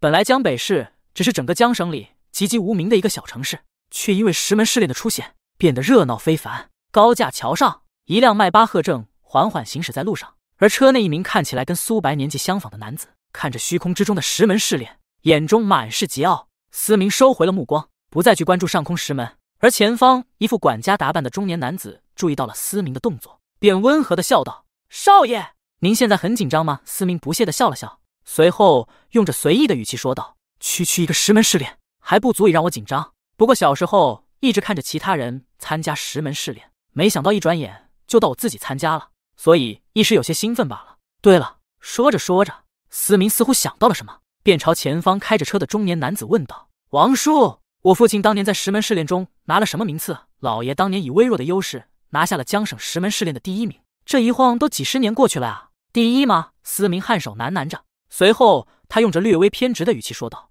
我一定会做的比父亲更好。”李叔，李叔。上面的那个石门距离我好远啊，我到时候能打到吗？一个扎着双马尾的女子将头探出门外，新奇的看着天空之中的石门，兴奋大喊道。而正驾驶着汽车的管家见到自家小姐居然将头都探出车窗外，顿时吓得魂都飞了，急忙喊道：“小姐，你快点进来，危险！”正驾驶着一辆红旗的军装中年男子，他透过后视镜看着武明，沉声道：“武明，这次的石门试炼一定要争取升到前排，这是提升你境界的大好机会。”而后排的那名少年睁开双眼，眼中满是这个年纪不该有的沉稳。我明白了，父亲。一名面如凝脂的长发少女坐在动车上，她双眸中满是冷意，冷到让人不敢靠近，仿佛只要被她看上一眼就会被冻住。少女望向了空中的那道巨大石门，她那不掺杂着任何感情的双眸忽然出现了一缕野心，似乎对这次石门测试势在必得。整个江省的所有天才都一股脑的涌入了江北市，全都是为了此次的石门测试。这给江北市本地的天才带来了无与伦比的压力。毕竟，一个小城市的天才跟人家省会的天才自然是没法比的。当然，除了这些青年才俊外，还有着一些年纪看起来都不小的老者。苏白和沈清月走到大街上，看着一大堆的老者，不禁嘴角抽搐。不过这也是没有办法的事情，毕竟石门试炼并没有岁数限制，只有等级限制，所以难免混进了一些老油条。时间来到正午，石门缓缓坠下，随后落到了半空。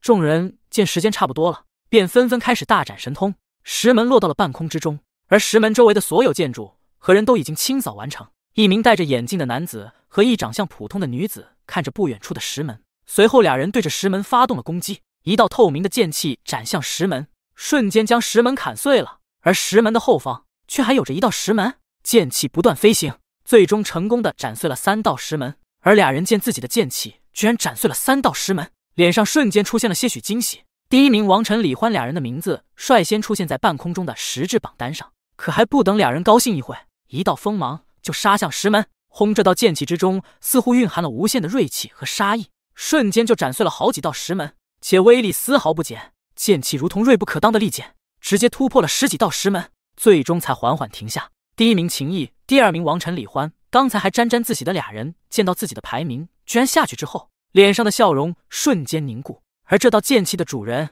正站在半山腰。他看着自己的排名，十分骚包的甩了甩头发。而整个江北市的人见到那道剑气，居然足足击碎了十几道石门，纷纷议论着这个秦毅是何方神圣。但还不等众人搞明白这秦毅是谁，更为逆天的一幕出现了。只听见一道响彻整个江北市的剑鸣声出现，随后一道耀眼的剑气就杀向石门，石门瞬间被切得粉碎。而那道耀眼剑气还在不断的突破着，将众人看得傻眼。片刻之后，耀眼剑气消失，而新的记录也就此诞生。第一名思明，第二名秦毅，第三名王晨、李欢。看着这道新诞生的记录，整个江北市都沸腾了。这他妈至少击碎了二十多道石门了吧？这个思明是谁啊？太逆天了！这个叫思明的家伙就是今年的冠军了吧？往年的记录最高才十几道石门，这家伙击碎了二十多道，不是冠军都说不过去了啊！第二十一章。万众期待苏白登场，刚开心没多久的秦毅看到自己的排名居然被别人压下去了，他瞬间惊骇的朝刚才剑气出现的方向看去，只见思明站在山顶，他目光冰冷，似乎对自己拿到第一的事情毫不意外。注意到秦毅的目光，思明冷漠的看向半山腰的秦毅，眼中满是不屑。随后，思明收回目光，扭头离开了山顶。而思明离开之后，秦毅则是十分不满的嘟囔道：“哪蹦出来的天才，居然比我还能装接下来？”整个江北市所有想要参加石门试炼的人，纷纷来到了石门的所在处，开始了测试。石门不断的被击碎，也不断的恢复。众人都在各显神通，半空之中的那道实质榜单上的排名也在不断的发生改变。但思明的排名依旧稳稳排在第一，无人可撼动。反倒是秦毅，现在已经落到了第四名。吴昊站在石门的不远处，他站在人群之中，看着已经没有人测试的石门，急忙对一旁心不在焉的顾妍希说道：“妍希。”现在石门没有人测试了，咱们抓紧试试吧，要不待会人又多起来了。顾妍希瞥了一眼吴昊，眼中闪过满满嫌弃。自从上次吴昊被苏白一剑秒杀之后，顾妍希对于吴昊越来越不满，甚至到了十分嫌弃的地步。但无奈，在吴昊这家伙死缠烂打、做出一大堆保证下，顾妍希还是只能答应跟吴昊参加石门训练。行行行，来吧。顾妍希无奈的说了一句，随即他召唤出剑鞘。吴昊召唤出了自己的剑魂，插入了顾妍希的剑鞘之中。随后，吴昊看着不远处的石门，他怒喝了一声，随即猛地将剑魂拔出，一道透明的灵力剑气瞬间从吴昊的剑魂中涌现，剑气猛地朝着石门杀去。吴昊的剑气瞬间将第一重石门击碎，随后剑气继续不断的突破着石门，而吴昊则是满心期待的看着，好奇着自己的成绩。哪怕是顾妍希都带着略微的期待看着那道剑气，毕竟。排名若是靠前，那可是能够获得灵气奖励的。虽然顾妍希比吴昊多修炼一年，但吴昊可是有着家中丹药扶持，且自身天赋也不弱于顾妍希，如今几乎都快要超过顾妍希了。若是有着灵气的帮助，可是可以抵过顾妍希好几年的苦修呢。这怎么能不让他期待呢？可俩人都希望还是落空的。他们二人的剑气在击碎第十一道石门的时候就已经稍显无力，在击碎第十二道石门后便直接消散。剑气消散的同时。顾妍希和吴昊两人的名字也出现在了半空的实质榜单上。不过说垫底的位置，见成绩垫底，顾妍希不悦的瞪了吴昊一眼。十二道石门，这个成绩显然不行。吴昊讪讪的挠了挠头。虽然目前来看，吴昊和顾妍希排在末尾，但吴昊却丝毫不担心。吴昊可还记得苏白和沈清月也得参加石门测试呢？到时候俩人的成绩绝对会比吴昊和顾妍希俩人的成绩更低，排名垫底的才会被吸收灵气。有着苏白这家伙在，吴昊自然是没有那么担心了。甚至吴昊已经在心里盘算着，等苏白测试完十门测试，被吸收灵气之后，该怎么嘲笑那个家伙了。想着想着，吴昊还笑了起来。而一旁的众御剑师见到吴昊这家伙拿了倒数第一，还笑了起来，不由得有点怀疑这孩子是不是痴呆了。而对于吴昊和顾妍希这两个年轻人拿倒数第一这件事，附近的老牌御剑师没有丝毫意外，反而觉得十分正常。一位脸上有着刀疤的男子看着吴昊的排名，笑道：“江北市的年轻人可真有勇气，居然还敢参加石门试炼，不怕被扣灵气啊？”“是啊，今年的石门试炼出现的那么早，比往年早了将近两个月。这时候，大部分人连觉醒对象都还没找到呢，可不是吗？正是因为今年石门测试出来的早，所以很多今年的觉醒生都不敢参加石门测试，倒是便宜我们这些老人了。是啊，在明知道今年参加石门测试的人。”有着我们这些老牌御剑师参加的情况下，还敢参加，只能说勇气可嘉。那可说不准，在今年难度巨大的情况下，还有年轻人敢参加石门测试的，有两种人：一种呢，就是拥有绝对实力的天才，比如排名第一的思明，那家伙我刚才见了，很年轻，应该是今年的觉醒生。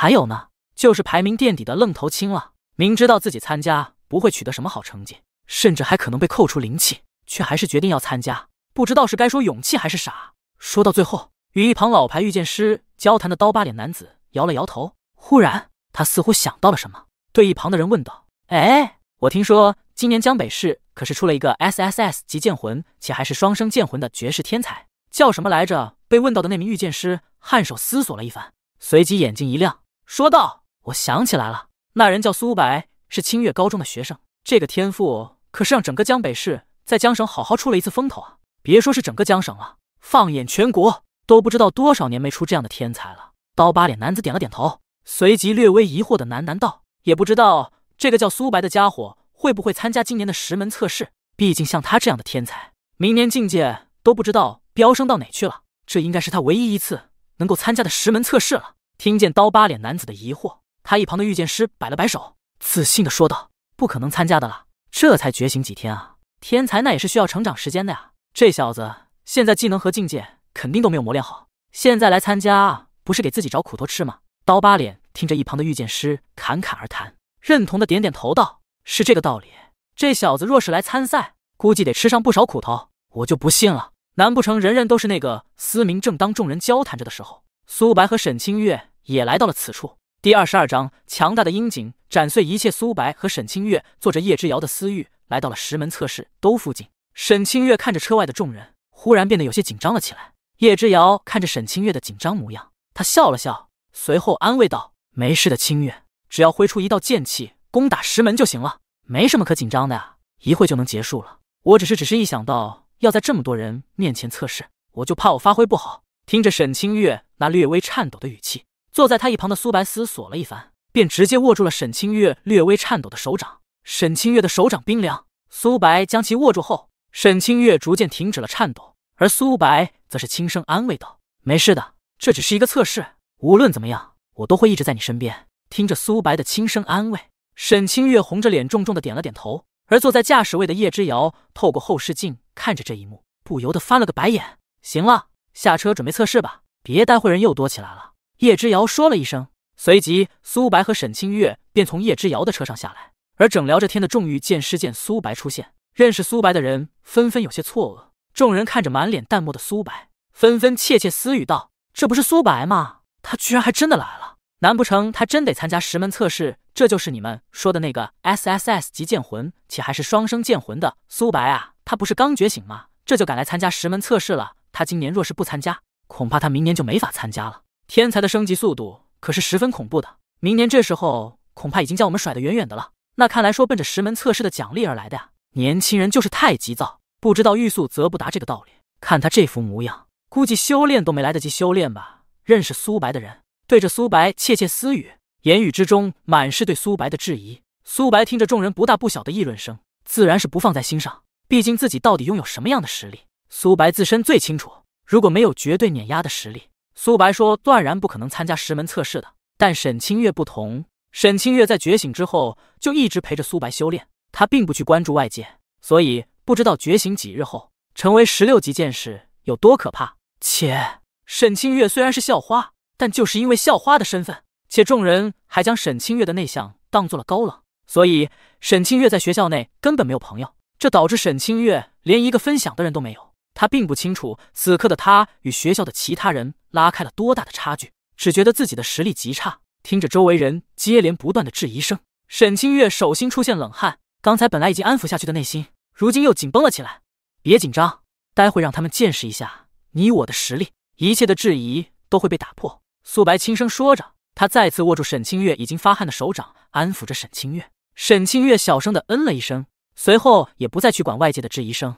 而一些外市来的御剑师，虽然听说过苏白，但并没有见过苏白的真容，所以看着眼前这少年，难免有些疑惑。虽然他们不认识苏白，但凭着苏白这略微稚嫩的面庞。众人还是不难猜出，苏白应该是今年才觉醒的觉醒生。那些不认识苏白的外室御剑师看着满脸稚嫩的苏白和沈清月，纷纷皱着眉交谈道：“不是吧，又来一个今年才觉醒都觉醒生？是今年的愣头青多，还是江北市的学生都是那么不知道天高地厚，谁知道呢？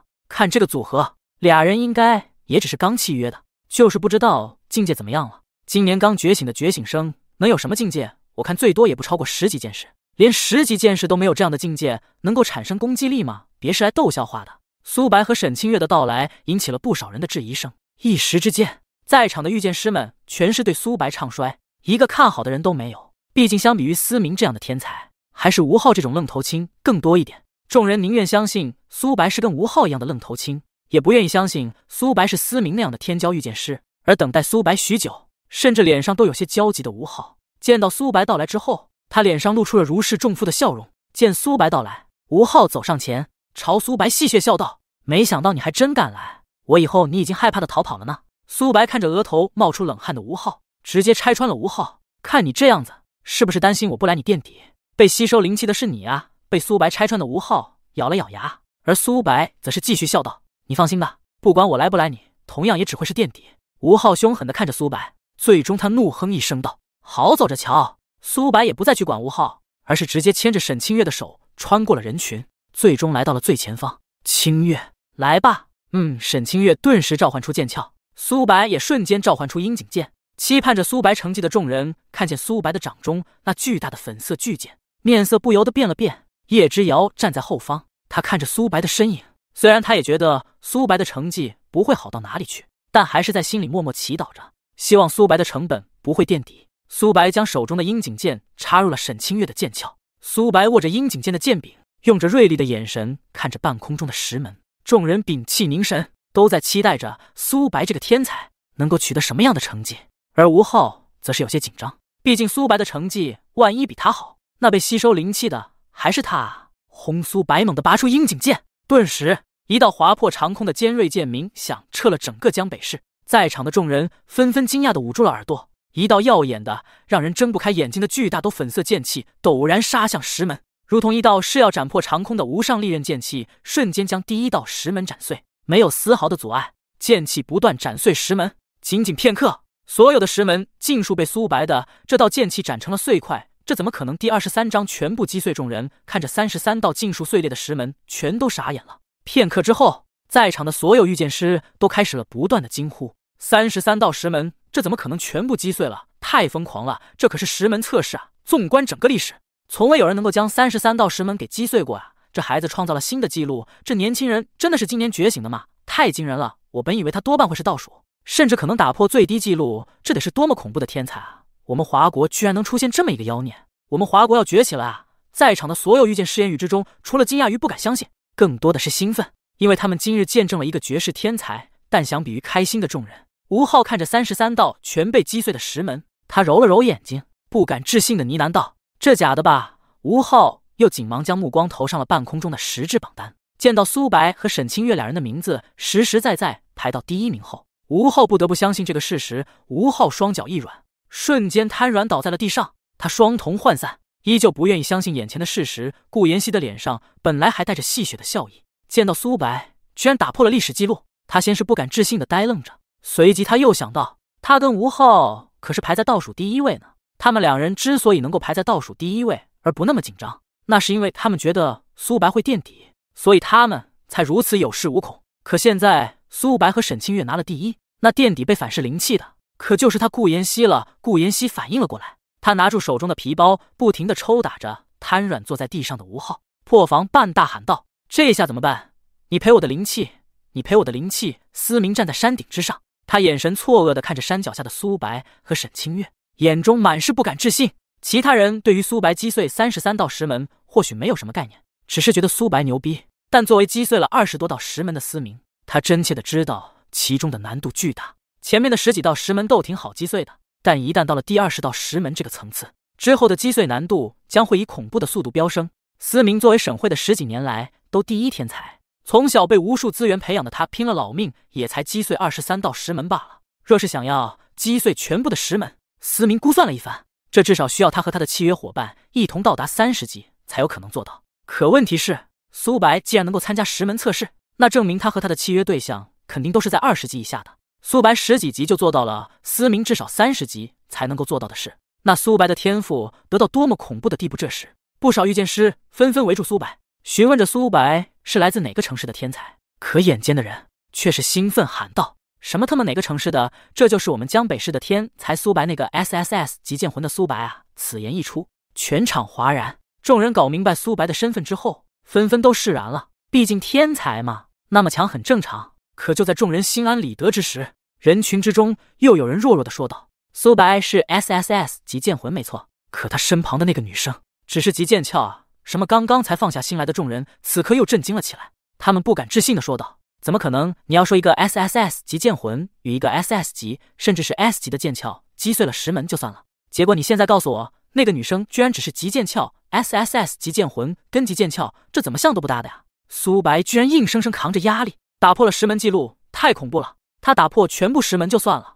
居然还是跟着极剑鞘一起打破的。拿，如果苏白与一个 S S S 极剑鞘契约的话，那实力的有多么的恐怖？听到苏白是 S S S 极剑魂之后，众人斗下意识的把苏白身旁的沈清月也当做了天才。众人想着，哪怕沈清月不是 S S S 极剑鞘，那也得是个 S S 级吧？再不济也得是 S 级啊！谁曾想，居然只是极剑鞘。其实极剑鞘都天赋已经很强悍了，在普通人的眼里。也能够算得上一个小天才，甚至只要努努力，未必会比 S 级剑鞘差。但问题是，S S S 级剑魂跟级剑鞘契约，这么想都不大，两个天赋根本就不是一个层次的。众人随即又转念想到，苏白居然凭着跟级剑鞘契约，被拖着后腿的情况下，硬生生击碎了三十三道石门。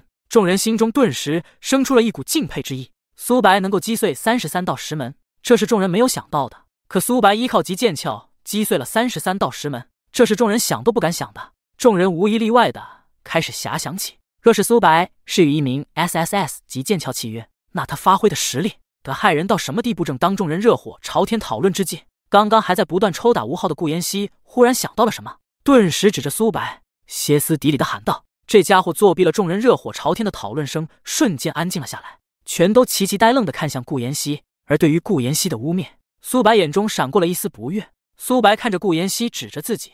苏白淡淡的问道：“你说我作弊了，证据呢？”见众人都看向了自己，顾妍希仿佛有了更大的底气。听见苏白要证据，顾妍希大脑飞速旋转，随后冷声道：“你是个双生剑魂，别以为大家不知道，你除了跟沈清月契约了之外，还跟你的班主任叶之遥也契约了。你这家伙，刚才肯定不是用跟沈清月契约的那一把剑，而是用的跟叶之遥契约的那一把剑。你这家伙，分明是依靠着叶之遥的力量，所以你才能够击碎全部的石门。”你这家伙想把大家都蒙在鼓里，我必须让所有人知道真相。第二十四章第一名的奖励。听完顾妍希这信誓旦旦的言论，众人第一关注点不是苏白是否作弊，而是震惊苏白居然还他妈是个双生剑魂，不是吧？苏白这家伙妖孽的太可怕了吧？不仅是个 S S S 级剑魂，居然还是双生剑魂，比开挂都过分啊！S S S 级剑魂我多多少少还听说过一点呢，但双生剑魂那可是传说中的东西了呀！我居然亲眼看见了双生剑魂的持有者，S S S 级剑魂，加上还是双生剑魂，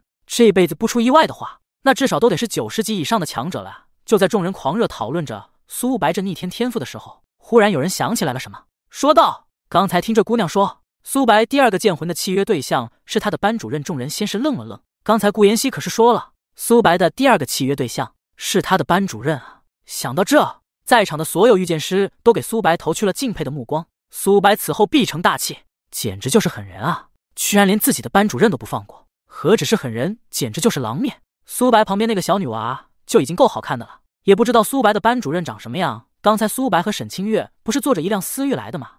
那辆车上面还有一个美女呢，我看过了，丝毫不逊色苏白一旁的沈清月。那个人不会就是苏白的班主任吧？行啊，居然长得那么好看！我现在怀疑苏白契约标准可能不是剑鞘等级了，而是长得好不好看。众人不断的讨论着苏白那骇人的天赋，还有苏白契约班主任的事情，就是没人去关注苏白是否作弊。顾妍希见在场众人的讨论方向朝自己预想的目标越来越远，他急忙再次大声喊道：“各位众人！”听见了顾妍希的大喊，便纷纷再次将目光投向他，想看看他还能整出什么幺蛾子。见众人的目光再次看向他，顾妍希咳咳两声，随即看着苏白讥讽道：“如果我没有记错的话，你的班主任叶之遥的等级……”应该是三十多级了吧？你的班主任等级那么高，如果你跟你的班主任合并剑魂的话，那么你能够击碎三十三道石门这件事，那也就说得通了。苏白，为了我们之间的赌约，你居然宁愿去作弊，没想到居然是那么无耻的人！还好我当初没有跟你契约。听着顾妍希这充满了庆幸的话语，苏白嘴角抽搐。当初哭着喊着想跟自己契约，现在倒是知道翻脸不认人了。而瘫坐在地上，双眼涣散的吴昊听见顾妍希的话语，他双眼渐渐聚焦，随即吴昊狼狈都从地上爬起。吴昊一副小人得志的样子，看着苏白，随即喊道：“妍希说的没错，你这家伙怎么可能会击碎三十三道石门？你说你没有作弊，谁信？”听着这两人的一唱一和，在场众人纷纷也有些猜忌。毕竟苏白一举击碎三十三道石门的壮举，实在是太过骇人。这苏白不可能作弊吧？他可是 S S S 级双生剑魂的天才啊！有这样的实力，我也觉得正常啊。这也说不好吧？毕竟那个省会来的思明一样，也是个天才啊。他也只是击碎了二十三道石门而已，就算跟苏白有差距，也不可能那么大吧？我是觉得苏白没有作弊的，他刚才可是在我们众目睽睽之下攻击的，能有什么作弊的点？我看不出来。众人终于是围绕着。苏白是否作弊这一点展开了激烈的讨论。江北市的本地人自然不用说，当然是无条件支持苏白的；而外市来的则是分成了两拨人，分别是认为苏白作弊的和认为苏白没有作弊的。总的来说，还是认为苏白没有作弊的人多些，但终归还是有人质疑的。在众人激烈讨论之时，忽然人群中有人大喊道：“行了，别吵了！想要知道苏白是否作弊了，不是很简单吗？看看苏白和沈清月的名字。”是否在榜单上面不就好了？这人说的在理，大家也就不再争吵，而是纷纷将目光投向了半空中的实质榜单。第一名苏白沈清月，第二名思明，第一百七十九名吴昊顾妍希。众人见到苏白和沈清月的名字真真切切的排在第一名之后，众人也就不再继续争吵。毕竟，如果苏白真的是作弊的话，那石门榜单定然不会认同苏白的成绩。换句话说，既然苏白和沈清月的名字能够出现在榜单上，那就证明他们两人没有作弊。是堂堂正正的取得第一名的，而刚才那些质疑苏白作弊的御剑师们，他们纷纷尴尬的挠了挠头，随即对苏白道起歉来。对于众人的道歉，苏白自然说欣然接受。大家也只是因为顾妍希的话语而产生误判而已，苏白自然是不放在心上。而刚刚才站起的吴昊见风向局那么快就转变了，他顿时傻了眼。早知道他都宁愿继续瘫坐在地上，这下好了，他站起来了，风向没了，尴尬的还得是他。弄明白事情的真相后，在场的所有人纷纷拿着看跳梁小丑的目光看着两人，眼中满是鄙夷。吴昊倒是觉得没什么，最多也就是有点尴尬，但顾妍希可就受不了了。他从小到大都是受人追捧，何时被别人拿这种眼神看过？顾妍希看着周围人鄙夷的目光，他面目愈发狰狞。可正当他想再说些什么时，天空却忽然出现了异样。只见石门缓缓升空，空中之前那道关闭的裂缝再次打开，而石门。也就缓缓进入了其中。众人对这幅场景已经见怪不怪了。石门离开了，就代表今年的石门测试已经结束了。而接下来的时间，则是石门颁布奖励的时候了。这也是众人最期待的时候。我听说今年的第一名，除了灵气奖励之外，还会有特殊奖励啊！不知道是什么，是什么都跟咱们没关系了。看看待会苏白能够获得什么吧。毕竟他才是第一名。半空中的实质榜单忽然炸开，一股庞大的灵气陡然出现，随即。这股庞大灵气，有着三分之二的灵气都涌入了苏白的体内。不过，可不止这些，大量灵气涌入苏白和沈清月的体内之后，还有一颗丹药飞进了苏白手中。在场众人看见这颗丹药后，都傻眼了，纷纷失声道：“这是剑灵丹吗？我没看错吧？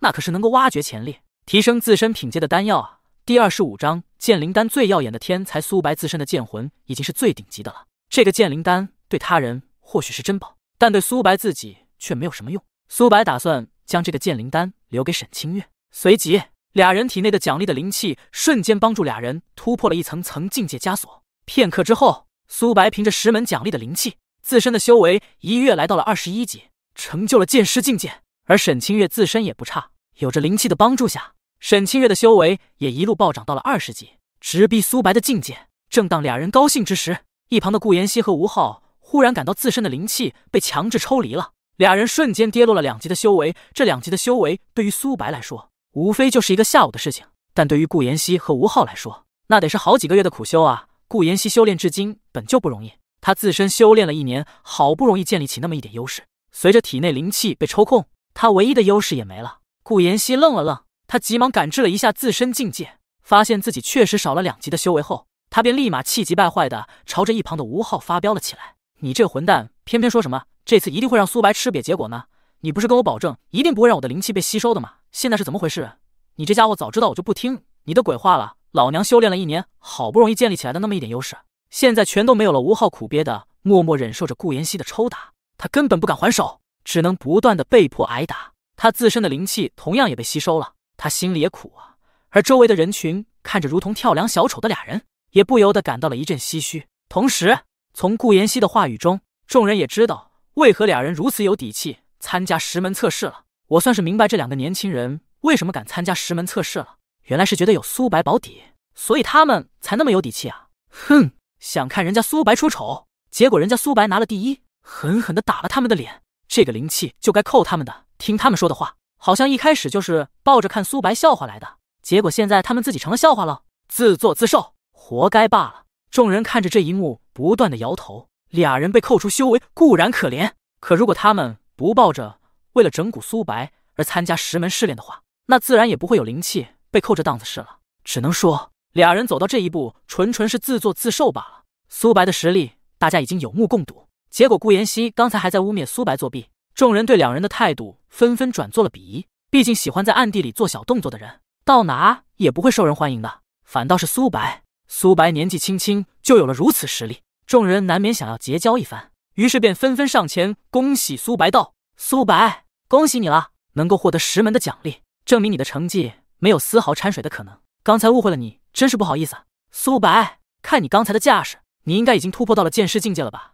真是恭喜你了，年纪轻轻就有了如此成就，你以后的前途不可限量啊！一举击碎三十三道师门，这可是前无古人的壮举啊！想不到像这样的天骄，居然会诞生在我们小小的江北市内。我记得几十年前也有一个天骄击碎了三十道石门，现在那个天骄已经是人类前线的大人物了呀。苏白可是击碎了所有的石门，这样的天赋。岂不是代表苏白未来的成就不会低于那位大人？面对在场遇见师们的示好，苏白并没有情绪波动，只是随意的附和了两句，便拉着沈清月的手打算离开。众人将苏白和沈清月给围得水泄不通。苏白好不容易带着沈清月逃出人群后，就急忙坐上了叶之遥的车离开了此处。众人见到苏白离开之后，便只能遗憾摇头。毕竟他们原本还想要朝苏白请教一番呢。遇见路上看的可不是年龄或者资历，一切都是看实力和境界。苏白虽然年轻，但却比众人强。众人朝苏白请教，也不觉得有什么不好意思的。思明站在山巅隐蔽之处，他静静的看着车辆缓缓离开，他的眼神里充满了好奇。这是思明第一次对一个人产生好奇，也是思明第一次败在别人手里。从小到大，无论是什么思明，都要力争第一，从未败在他人手里。这是思明第一次失败，可他非但没有感到挫败感，反倒是燃起了无尽的战意。苏白嘛，有点意思。思明饶有兴致的说了一句。随后便转身离开了山巅，而身处下方的众人见苏白离开之后，便纷纷各自离开了此处。毕竟石门试炼结束了，大家自然是离开了。待到众人离开之后，顾妍希也放弃了对吴昊的抽打，他气愤地看着吴昊，随后愤然转身离开了此处。吴昊瘫坐在地上，相比于修为跌落的气氛，此刻他的内心满是对苏白的怒火。吴昊的眼神变得怨毒，境界跌了，他还可以用丹药给补回去，但脸面不行，自觉醒到现在。吴昊找了苏白很多次麻烦，但没成功不说，反倒是每次都让自己丢脸。吴昊狼狈的站起身，随后便一瘸一拐的离开了此处，看起来十分落寞。今年的石门测试对于众人来说是最精彩的一年，毕竟他们见证了一个绝世天才的崛起，而苏白的表现也让众人彻底的记住了他的名字。之前的苏白只是在江北市小有名气，放眼整个江省来说，苏白的名号并没有几个人认识。可今年的石门测试，苏白。这惊呆了所有人的表现，让众人彻底的记住了江北市有着这么一个天才的存在。苏白的名号将响彻整个江省，而他打破了三十三道石门的记录，也会响彻整个华国。众人都会记住，一个籍籍无名的小城市内，有着一个最耀眼的天才，而这个天才的名字叫做苏白。第二十六章，白虎要激活了，不好，快去酒店。叶之遥坐在驾驶位，缓缓驾驶着汽车，随后嘴角扬起笑意的对苏白说道：“表现不错，你这一下。”可是，在江省彻底出名了，恐怕用不了多久，大家就会记住江省有你这么一个天才的存在。你可是给江北市好好长了一波脸啊！面对叶之遥的夸赞，苏白不好意思的低下头。但对于众人的追捧，苏白倒是没有什么感觉。一切的名头或称赞，在苏白眼里都是虚的。只有自身的实力，才能够让自己保持从容的姿态。倘若苏白的实力真如吴昊口中那么弱，那恐怕苏白不会成为江北市的骄傲。而是会成为江北市的笑柄。苏白并不是受到了众人的追捧，所以变得更强，而是因为自身够强，所以苏白才可以受到众人的追捧。这一点，苏白还是能够分得清的。想到这，苏白便将一直握在手中的剑灵丹交给了一旁的沈清月，对沈清月笑道：“清月，这次麻烦你了。”沈清月虽然在此之前没有见过剑灵丹，但能够挖掘潜力，提升自身资质。每一个御剑师都知道其中的价值究竟有多珍贵。沈清月急忙将剑灵丹还给苏白。随即红着脸说道：“不，不用了，咱们是契约对象，我帮你是应该的。这个丹药太过珍贵了，我不能收。苏白，你留着吧。”苏白对沈清月这副拘谨模样感到些许无奈，这丫头哪哪都很好，唯一一点就是实在是太客气。苏白与沈清月契约了那么久，换做一般人哪还会计较这些？早就将剑灵丹收下了。可哪怕苏白跟沈清月已经熟识，但对于苏白赠送的物品，沈清月还是不愿意收下，仿佛要跟苏白保持着距离。其实这倒也不是沈清月高冷，与其说是高冷，倒不如说是内向。沈清月属于是内向到极致的那种人，他可以全心全意的对你好，但你想要对他付出的时候，他却不愿意接受。不是他不喜欢你，相反，就是因为太喜欢你了，所以才不愿意收下你的礼物。苏白自然是知道这一点，俩人拿着剑灵丹一阵推搡。沈清月对苏白劝说道：“苏白，你可以将这个剑灵丹卖掉，去换取其他的修炼资源。你将这种宝物。”给我简直就是暴殄天物！这次与你参加十门试炼，我能够获得那么多的灵气升级，已经很感激了。我不可以再收下你的东西。苏白无奈摇头，他怀疑，若是十门测试获得的灵气可以分配的话，沈清月这丫头一定会将全部的灵气都分配到自己身上，且还是毫不犹豫的那种。苏白无奈，只能对沈清月耐心劝解道：“我将剑灵丹给你，并不只是为了帮助你，同样也是为了帮助我自己。你想想看，你获得剑灵丹之后，你的实力提升了。”那么，作为你的契约对象，我的实力是不是也间接提升了？所以收下这颗剑灵丹吧，你别有什么心理负担，你就当做是为了帮我好不好？看着苏白手里的剑灵丹，沈清月还是有些犹豫不决的说道：“可是你明明可以将剑灵丹卖掉，去换取其他的修炼资源，增强自己的实力，这样对你不是更直接一点吗？”听着沈清月的疑问，苏白摇了摇头，随后对沈清月解释道：“这两者不一样，我将剑灵丹拿去换修炼资源，的确可以提升我自身的实力，不过那是一次性的。”提升完之后就没了，但是只要你服下剑灵丹之后，我与你的修炼速度不仅会加快，就连自身的实力也会增强。这对我来说提升更大，明白吗？可是你就收下丹药吧。见沈清月还是犹豫不决，就连一直在开车的叶之遥都看不下去了，开口劝道：“苏白说的不错，他换取的修炼资源的确可以提升他的力量，但提升完了也就那么回事。但你提升你自身的资质，不仅你可以收益，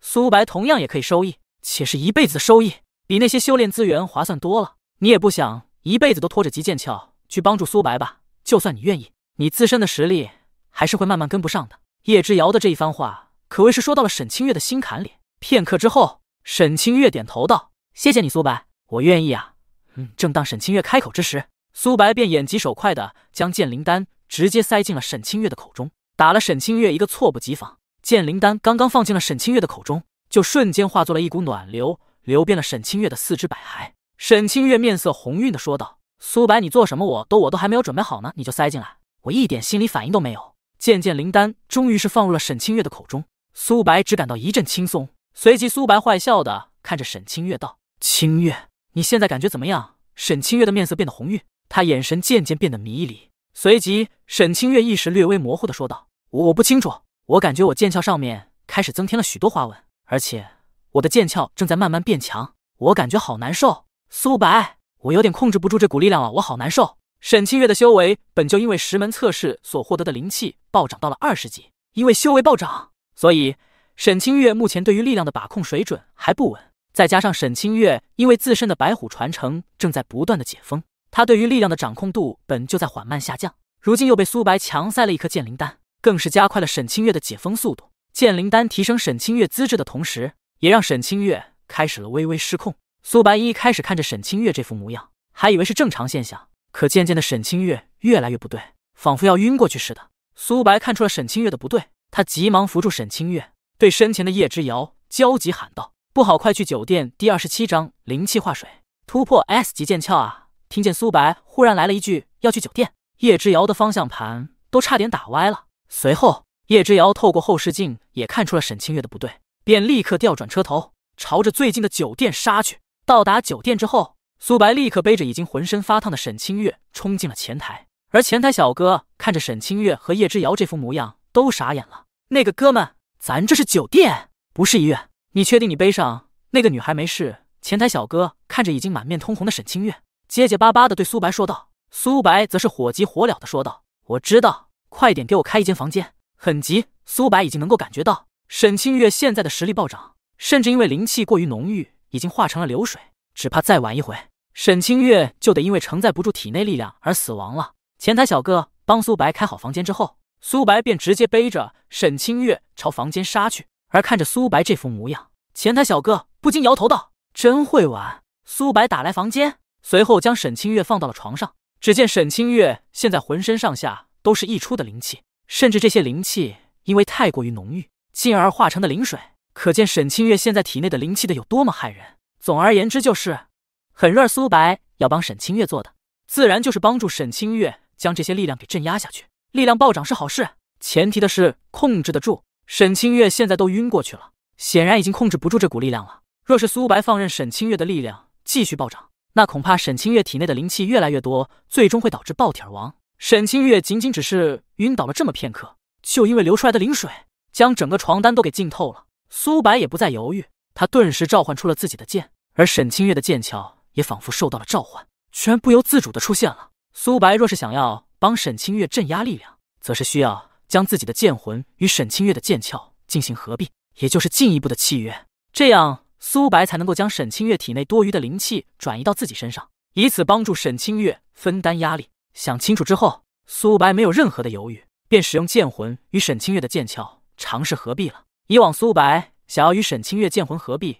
是十分困难的，因为沈清月的剑鞘的能量对于苏白的剑来说太过于凌厉了，那紧致凌厉的灵气令俩人不敢想象。哪怕是沈清月有意识的时候，俩人配合着都需要好久的时间才可以彻底进行合璧。可现在沈清月的剑鞘却有了些许不同。如今经过剑灵丹的开发，虽然沈清月的剑鞘依旧还是那么的，但有着灵水帮助，为两人的合并助上了不少力。有着灵水的帮助，沈清月的剑鞘变得更加温和。苏白的剑魂明明只是靠近，就不由自主的被吸附进去了。沈清月剑鞘里的灵水跟叶之遥的不用，叶之遥的剑鞘仅仅只是为了让苏白的剑更好的合璧，但沈清月剑鞘里的灵气之水却是不受控制。这同样也给苏白带去了全新的体验。之前苏白与沈清月的剑鞘合璧时，苏白体内的能量是十分紊乱的，可如今在灵水的帮助下，就好像是浑然天成一般。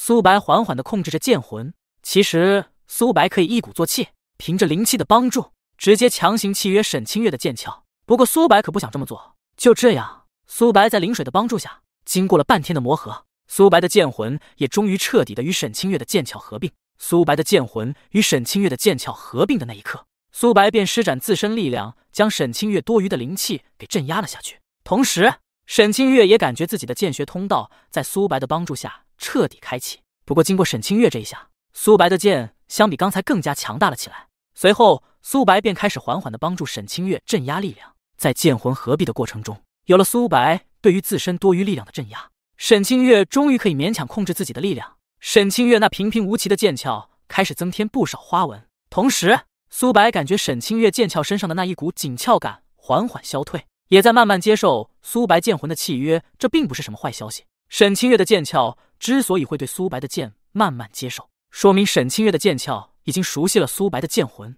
这样的话，从此以后，哪怕就算没有了这一股浓郁似水般的灵气的帮助，苏白在想要与沈清月的剑鞘合璧之时，也会更加容易，不会像以前。那般困难了。最终，在苏白的帮助下，沈清月的剑鞘上的花纹终于补齐，而沈清月的剑鞘资质也从级突破到了 S 级。除此之外，沈清月的传承也进一步觉醒了。也就是说，距离沈清月的剑鞘等级达到 SSS 级已经指日可待了。而沈清月自身的实力也在剑灵丹的帮助下暴涨了好几倍。虽然级与 S 级只差了一个等级，但其中的差距可是天差地别。沈清月的剑鞘突破到 S 级之后，哪怕没有刻意的去修炼，自身实力也在资质提升的同时暴涨了起来。下午的夕阳照射到沈清月的脸上，将还在熟睡中的沈清月给照醒。沈清月睁开眼睛，看着陌生的天花板，沈清月急忙坐起。沈清月疑惑的看了一眼四周，发现自己身处酒店的房间之内。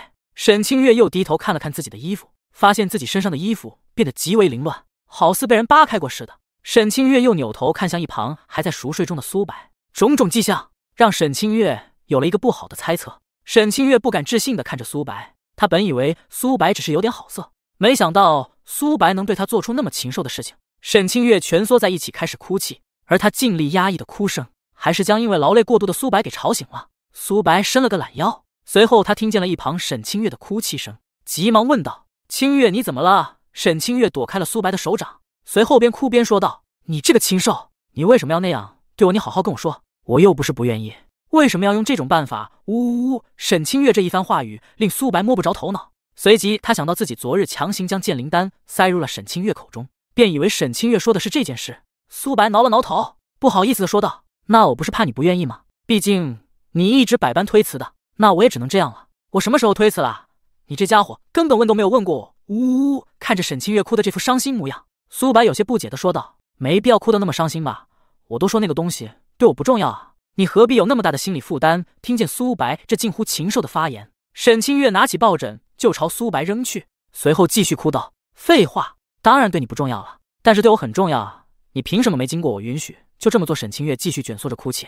苏白挠了挠头，以为是沈清月因为吃了剑灵丹，所以对自己感到愧疚，于是苏白便半开玩笑的说道：“既然这样，那你以后好好补偿我好不好？我还要补偿你。”沈清月顿时就忍不了了。他拿起抱枕，不停的朝苏白砸去，苏白都被砸傻了，连忙求饶。就在这时，刚打完饭回来的叶之遥见到这一幕，都懵了。平时最内向的沈清月，居然敢暴打苏白了！哎哎，你们俩做什么呢？叶之遥急忙阻拦住沈清月，随后不解问道：“清月，人家苏白昨天累死累活的帮助你镇压灵气，你怎么一睡醒就打人家？镇压灵气，这下轮到沈清月懵了。”叶之遥点点头道：“是啊。”昨日苏白为你服下剑灵丹，你却因为无法镇压灵力，导致生命危在旦夕。后面是苏白忙活了一整天，才帮你将灵气镇压下去，你的资质也才能够提升到 S 级。你都忘了？经过叶之遥这一提醒，沈清月总算是回想起自己昨日被苏白强行服下剑灵丹的事情。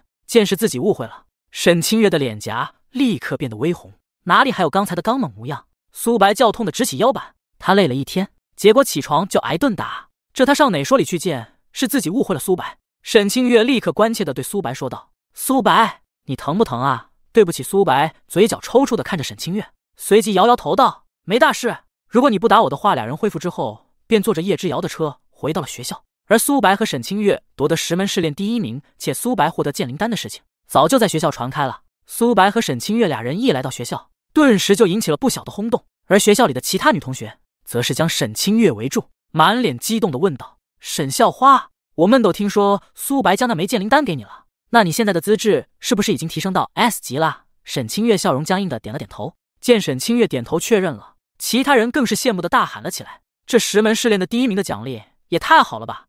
居然能够将人的资质提升上去，这说是逆天改命也不为过呀！更重要的是，苏白愿意将这个剑灵丹让给沈校花啊。虽然苏白已经是 SSS 级剑魂，但他完全可以。”将剑灵丹卖出去换其他的修炼资源呀！是啊，是啊，那可是剑灵丹，能够提升资质的哎。若是卖出去，肯定是价值连城的呀。可苏白居然还是愿意将剑灵丹给沈校花提升资质。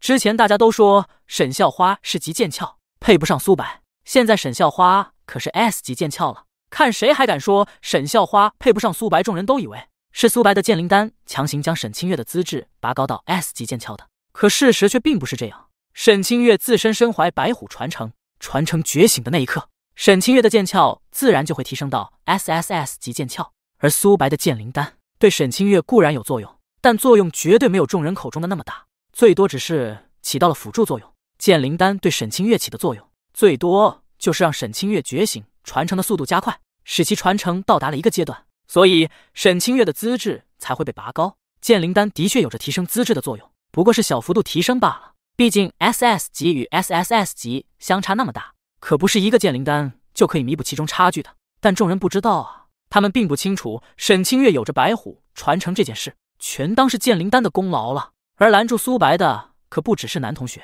女同学同样也拦着苏白，且不少人用着含情脉脉的眼神看着苏白呢。苏白同学，不知道你还缺不缺契约对象？我是 B 级剑鞘，跟清月校花比差不了多少，而且我还有很多秘密等你发现。O B 级剑鞘凑什么热闹？苏白同学，我是级剑鞘，跟之前的清月校花是一个等级。选择我吧，我也只需要一枚剑灵丹，就可以变得跟清月校花一样。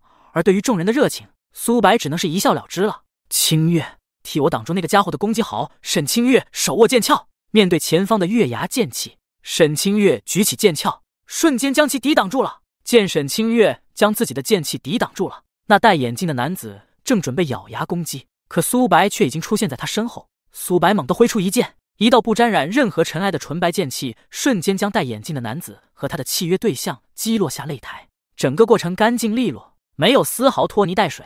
见对手已经被解决，苏白笑盈盈的走向沈清月，随后俩人十分有默契的击了个掌，庆祝着再一次的胜利。距离沈清月资质变成 S 级剑鞘的那一天已经过去很久了，而俩人也成功的参加了江北市天骄武者大赛。至于战况，俩人这两天一直都在与外校学生交流，可对战起来根本毫无压力，仿佛跟他们不是一个层次的。可以说，苏白和沈清月目前所经历的战斗几乎全是碾压式胜利，还没有一个对手能够让两人使出全力。而被击飞下擂台的那名眼睛男子不甘的垂地，他和他的同伴都是极的天赋。两者已经算是很不错的组合了，结果连苏白最普通的一招都没有撑住。见自己的契约对象不甘垂地，眼睛男的契约对象无奈的叹口气说道：“接受失败吧，对面的人可是苏白，输在他手底下不是很正常吗？”没错，苏白经历过石门失联那件事过后，现在他的名号已经传遍了整个江北市。苏白的名号无人不知，无人不晓，所有在江北市跟苏白同一届的武者都将苏白视作目标。当然了，在这次大赛上。众人才彻底知道，苏白不是能够追赶的目标，而是一座无法逾越的高山。而在岳阳高中的观众席上，一个留着寸头、打着耳钉的男子，正饶有兴趣地看着下场的苏白和沈清月俩人，而他的目光更多是放在了沈清月身上。王如龙招了招手，他一旁的小弟立刻弯着腰走了过来，随即对王如龙恭敬说道：“王哥，什么吩咐？”王如龙指了指下方跟着苏白离开的沈清月，随后对一旁满脸恭敬的小弟说道：“帮我调查看看。”苏白身边的那个女的是谁？要快！那名小弟朝王如龙手指的方向看去，随后嗨了一声，对王如龙解释道：“不用调查了，王哥，这女的我知道是谁。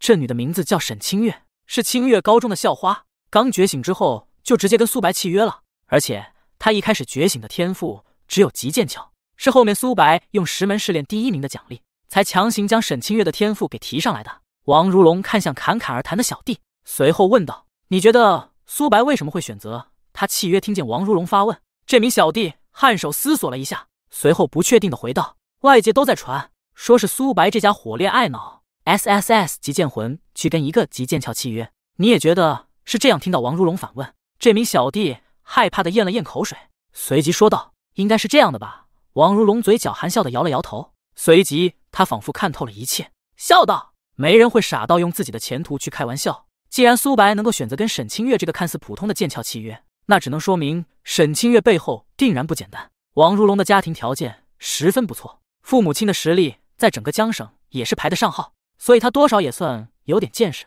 去把沈清月的资料背景给我调出来，我不想说第三遍。听见王如龙这逐渐变得冰冷的语气，那名小弟也不敢耽搁，便立马去办了。王如龙回到家中别墅，而他那名小弟早就将资料备齐了。见到王如龙回来。那名小弟顿时恭敬的说道：“王少，沈清月的资料我已经给您整理好了。为了预防您还需要苏白的资料，所以我也提前将苏白的资料也打印了一份给您。”王如龙点点头，他习以为常的对一旁的小弟说道：“行了，去中书那领赏钱吧。”听到王如龙这么说，那名小弟立刻面色一喜，他道了一声谢后便离开了此处。他手里不断翻阅着关于沈清月的一切资料，看完之后，王如龙将资料合上。呢喃道：“居然是传说中的神兽传承，不错，有点意思。”王如龙见到沈清月居然是神兽传承之后，立马就动了想要与沈清月契约的心思。至于沈清月已经跟苏白契约这件事，王如龙可不在乎。在普通人眼里，契约是一辈子的事，可实则不然。王如龙因为父母实力强大，所以对这契约的事情多少有着了解。其实，哪怕是契约之后，一样可以解除契约，双方恢复自由身的。这些消息。没有在平民之中流通，但王如龙可是十分清楚。但是这个方法同样有一个弊端，就是一旦契约取消，那么契约双方中会有一方受到十分强烈的反噬。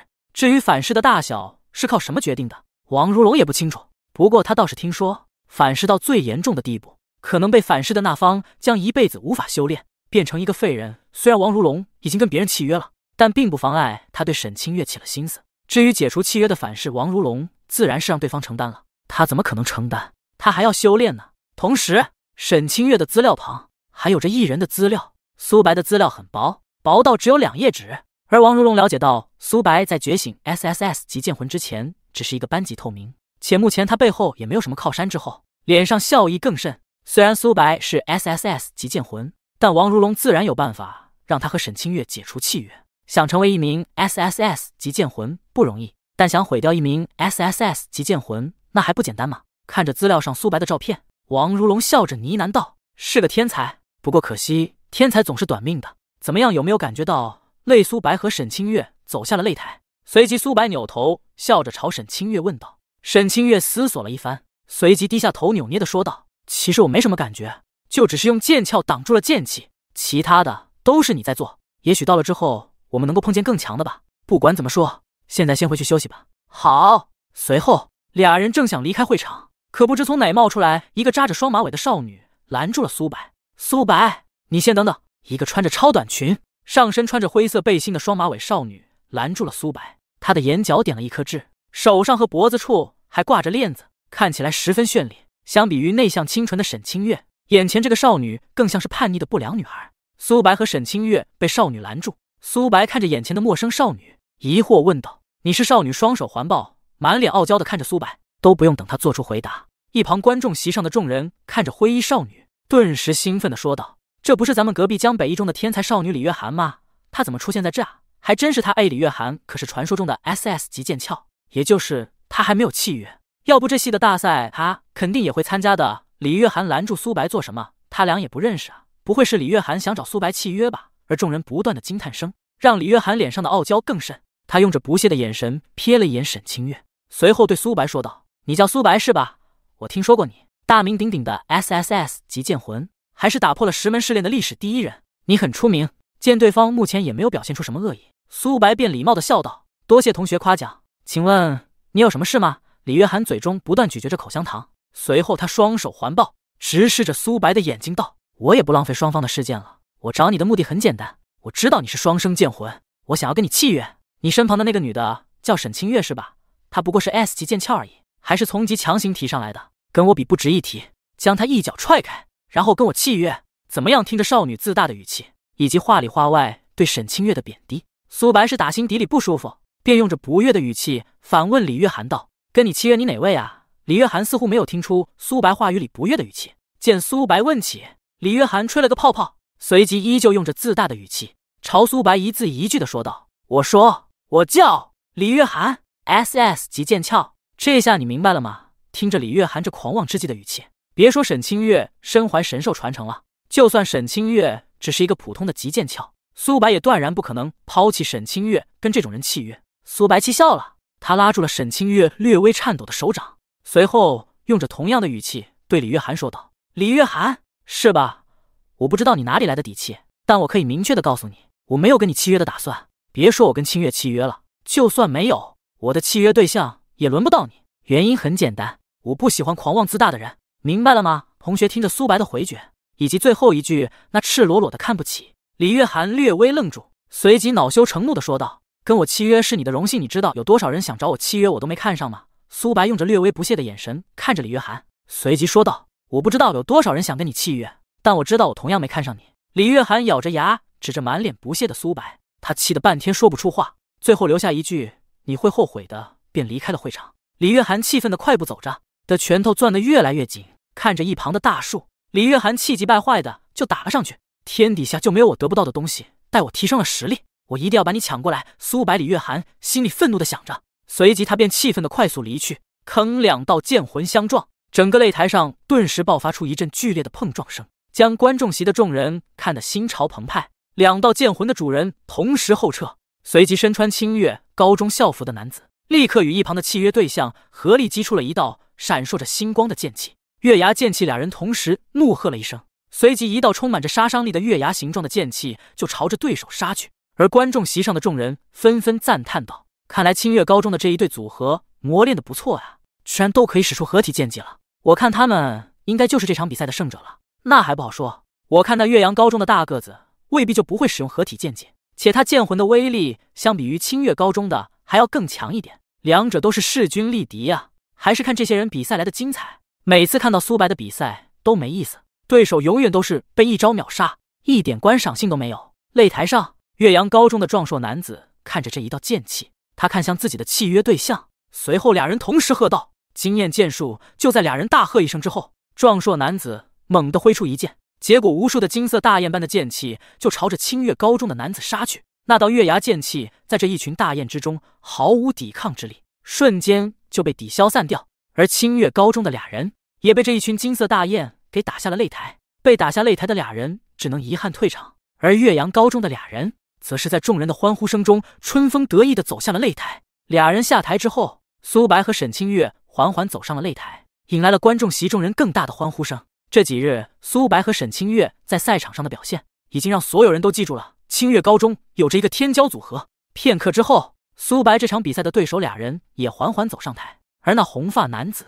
正是前几日基于沈清月的王如龙江北市的整个天骄大赛都是全国直播的，主要是为那些天骄增加些人气。毕竟江北市的天骄走出去却无人认识，那得多尴尬。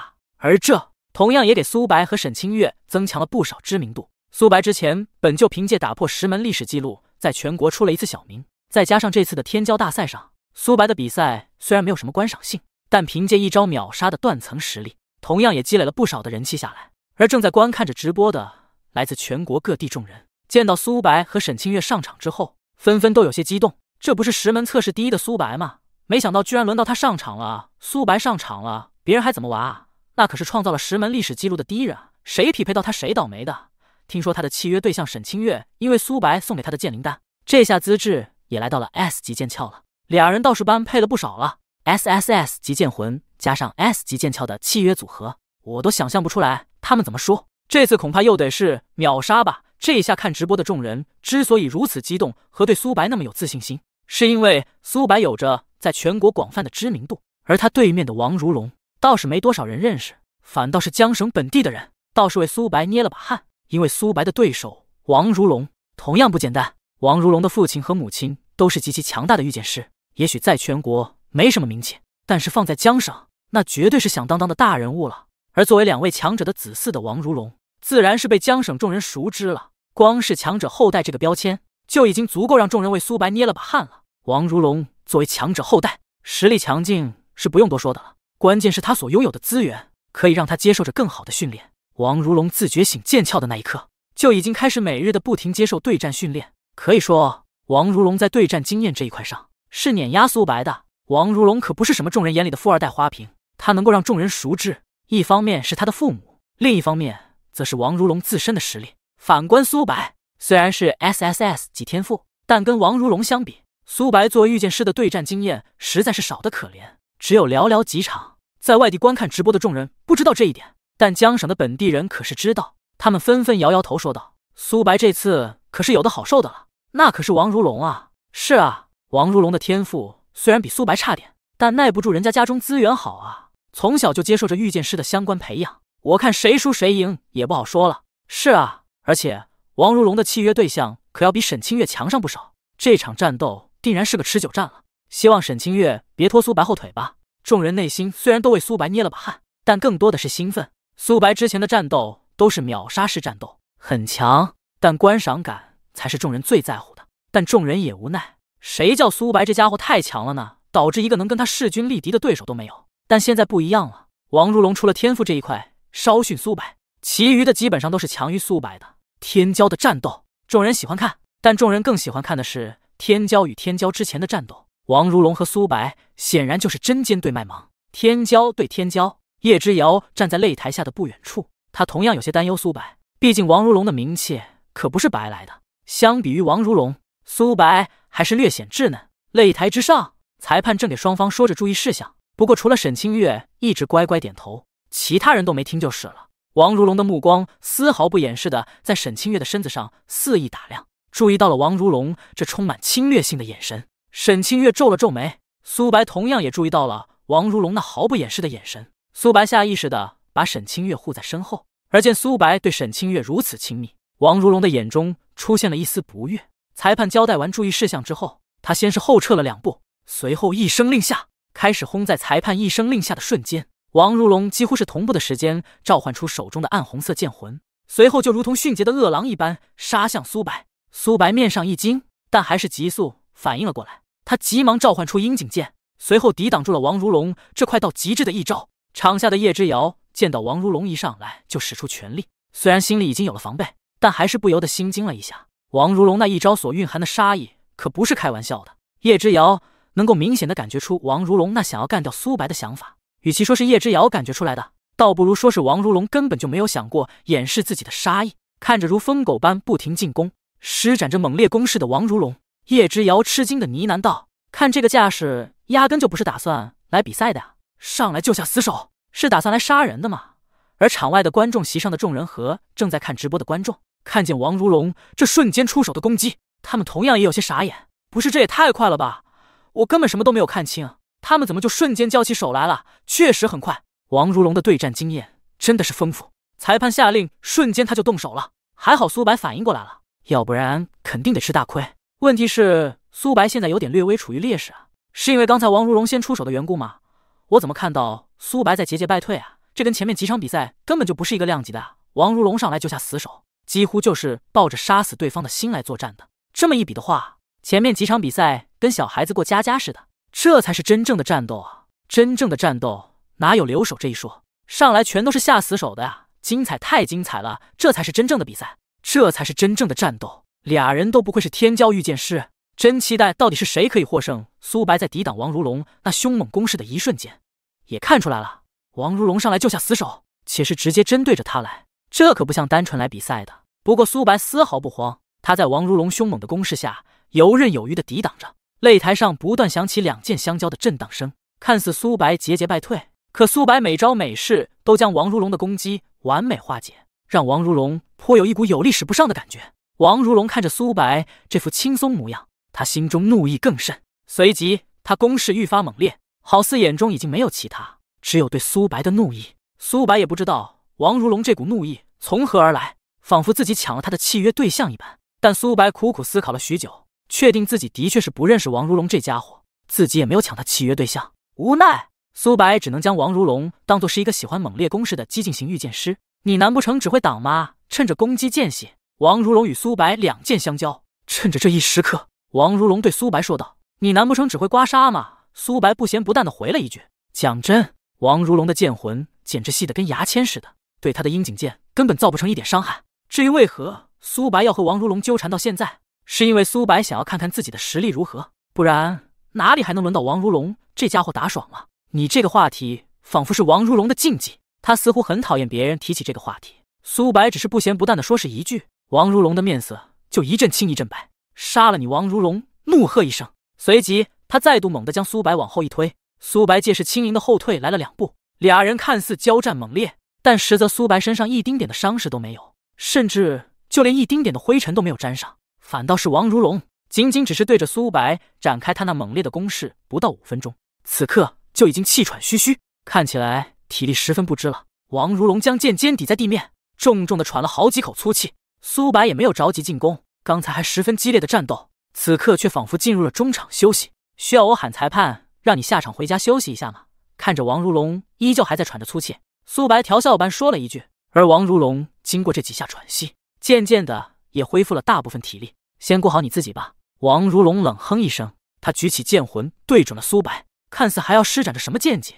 虽然大部分人不知道王如龙想要做什么，不过一些了解王如龙家族的御剑师们可是看出来了。他们纷纷瞪大了眼睛看着王如龙道：“看王如龙这个架势，难不成他是要施展出他们家流传的剑技？一次无双，这剑技可是极其难掌握的。”哪怕是他父亲，也是耗费了十几年才将这道剑技学至大成。没想到王如龙那么年轻就学会这一招了，如此年轻就已经学会了如此强横的剑技，王如龙的前途不可限量。他不会成为比他父亲还要更强的御剑师吧？王如龙一直不断的蓄力着，他对着苏白的剑芒愈发耀眼，仿佛下一刻就是一束激光的爆闪。看着王如龙嘴角泛起的冷笑，以及剑尖上的剑芒，苏白知道他也没有把握接住这招。坑正当王如龙打算发力之时，刚才明明只是在消极抵挡的苏白，却猛烈爆发了一道怒斩，威力之强，甚至使得擂台的青石板都出现些许碎裂。看着这道裂的剑气，王如龙眉头一跳，他哪里还有着继续攻击苏白的心思？他连忙举起剑魂，在胸前横挡，轰苏白的澎湃剑气，如同一道迎面撞向王如龙的巨大铁锤。虽然剑气被王如龙抵消，但其中蕴含的力量还是迫使王如龙连连后退。王如龙奋力抵挡，他的脚步在地上硬生生划出了几道印痕，但还是止不住的咬牙后退。他的虎口微微发麻，看向苏白的眼神满是惊骇。王如龙傻了，哪有人会在自己蓄力剑技的时候打断自己的呀？一点武德也不讲的吗？苏白知道，既然自己无法接下这一招，那就不接好了。王如龙这家伙站在原地蓄力蓄了半天，傻子才不打他呢。见到刚才还在对着苏白猛攻的王如龙，居然在瞬息之间就被苏白击退。一直专心致志看着比赛的众人不禁有些感慨：不亏是天骄与天骄的比赛啊，胜负优劣往往就是瞬息万变之间。是啊，刚才明明还是王如龙一直将苏白击退，分明还有着优势，没想到下一秒居然就被一直隐忍的苏白击退了。看来苏白也是一个高手啊。不过我还是觉得苏白刚才那一招带有着运气的成分，如果不是王如龙大意了，他是不会被击退的。殊不知，一些真正的高手已经看了出来，虽然刚才。苏白是一直在后退，但他每一次都能完整化解王如龙的攻势，且还十分的轻松。除非是实力差距过大，不然如此轻松的就化解对方的攻势，显然是不可能的。那些看出来的人纷纷在心中对于胜负有了些许转变，不过大部分还是第一次看到苏白全力以赴的出手。虽然知道苏白的天赋是极其稀有的 S S S 级剑魂，但 S S S 级剑魂不代表就是无敌。他们心中胜利的天平还是略微倾向王如龙一点的。而擂台之下的叶之遥，可是能够最细致的观察着擂台上的战斗的。他此刻表情上可是出现了略微的惊讶。虽然苏白和王如龙刚才看似只是打了一个平手，但俩人不同的是，王如龙的契约对象可是一早就在一旁召唤出剑鞘辅佐王如龙了。可沈清月并没有，他并没有召唤出剑鞘帮助苏白，这也是苏白的安排。苏白想看看自己个人的实力究竟到了什么地步。若是沈清月同样也召唤出剑鞘帮助苏白，那苏白目前的实力绝对还会有着大幅度的提升，到那时候可就不仅仅是打成平手了。而除了叶之遥站在台下，一旁还有着一个扎着双马尾的少女，同样站在台下观摩着擂台之上的战斗。李月涵双眼放光的看着苏白，刚才那一道剑芒，李月涵也能够看出其中的威力不容小觑。没想到苏白居然直接将其打断了。看似苏白不讲武德，可真正的战斗，对手怎么可能会给你那么多时间去蓄力自己的招式？难不成对手喜欢找死吗？真正的战斗往往都是一两秒决定生死，也就是王如龙现在只是在比赛。若是生死之战，王如龙如今已经身首异处了。没错，王如龙的经验的确是很丰富，但那仅限于比赛经验和对战经验。王如龙对于战斗的技巧和比赛的经验都不缺，但唯独缺了一点，就是对于死亡的敏感。王如龙站在原地蓄力剑技，是因为他知道对手不会因为他的这个空档时间杀了他。所以他可以放心蓄力，但若是你死我活的战斗之中，王如龙哪还会有那么好运？恐怕在对手缓过来的下一秒，王如龙就已经死了。想到这，李月涵不禁对苏白更加激动。苏白能够抓住王如龙的空档进行反击，说明苏白在战斗之中的考量要强于王如龙。一名自大狂傲的御剑师和一名处处只知道狗的御剑师，两人相比的话，肯定是那名只知道狗的御剑师能够活得更久一点。作为御剑师，不一定要有强大的实力。但对于生命的珍惜，是一名御剑师的底线。如果一名御剑师连这个都忘了，那么对手给予的死亡会给他教训。李月涵心中暗暗发誓，像苏白这种有着实力且还有着战斗思维的绝对的强大御剑师，一定要趁着其还没有发育起来，就得将他抓过来契约。而王如龙被击退之后，先是一愣，他嘴中不停的呢喃道：“怎么会这样？”片刻之后，刚才一直呢喃着低沉的话语的王如龙仿佛陷入了魔障，他再度怒吼一声，随即朝着苏白杀来。这次王如龙的攻势相较与刚才瑶更加的猛烈，两人的每一次交击都会爆发出激烈的火花四溅，让观众直呼过瘾。虽然王如龙的攻势越来越猛，但那只是暂时的。在苏白看来，一名御剑师可得时刻把控好自己的体力，没有谁的体力是无限的，哪怕是传说中的剑神，他们的体力只是多。经历过无限次的战斗之后，他们同样也会累。所以在战斗之中，每名御剑师都应该把控着自己的体力，争取用着最小的力量。去争取结束对方的性命，或者获得胜利。从战斗刚开始到现在，苏白就只是一直抵挡着王如龙的攻势，看似十分的被动。但苏白到现在都没怎么消耗体力，反倒是王如龙，他的打法十分的激进，大家看的也很过瘾，估计他自己 P 的也十分开心，觉得战斗的主动权已经把握在自己手里。可他却忘了一件事，那就是对于自己体力的把控，或者说这家伙没忘，而是他根本就不清楚。王如龙凭借自身强于同龄人几倍的力量，总是在自身还有余力的时候就结束了战斗，以至于王如龙一直没有意识到自己体力的极限。若是换一个人，说不定王如龙已经结束对方了。但很可惜，他遇见的是苏白，一个同样作为天骄的强者。苏白在等，在等着王如龙体力彻底不支的那一刻。那一刻，苏白会结束这场老叟系顽童般的战斗。王如龙的攻势不仅猛烈，甚至可以说每一招都在下死手。如果苏白不进行抵挡，哪怕苏白认输了，恐怕王如龙这家伙也会在裁判阻拦之前将自己杀死，再不济也会将自己打成一名残疾。苏白不知道为何王如龙对自己抱着那么大的敌意，但苏白向来是你敬我一尺，我敬你一丈的。既然王如龙是抱着让他死亡或者残废的心理来的，那么苏白也不会再客气了。泥人都有着三分火气，更何况是苏白去死？王如龙缩回剑魂，随后剑尖直指苏白的咽喉，此来。全然不知道，在刚才体力的消耗下，他的速度已经变得缓慢无比。王如龙全盛时候的攻势，苏白都能够游刃有余的抵挡，而如今王如龙的攻势，在苏白眼里却慢得更乌龟爬似的。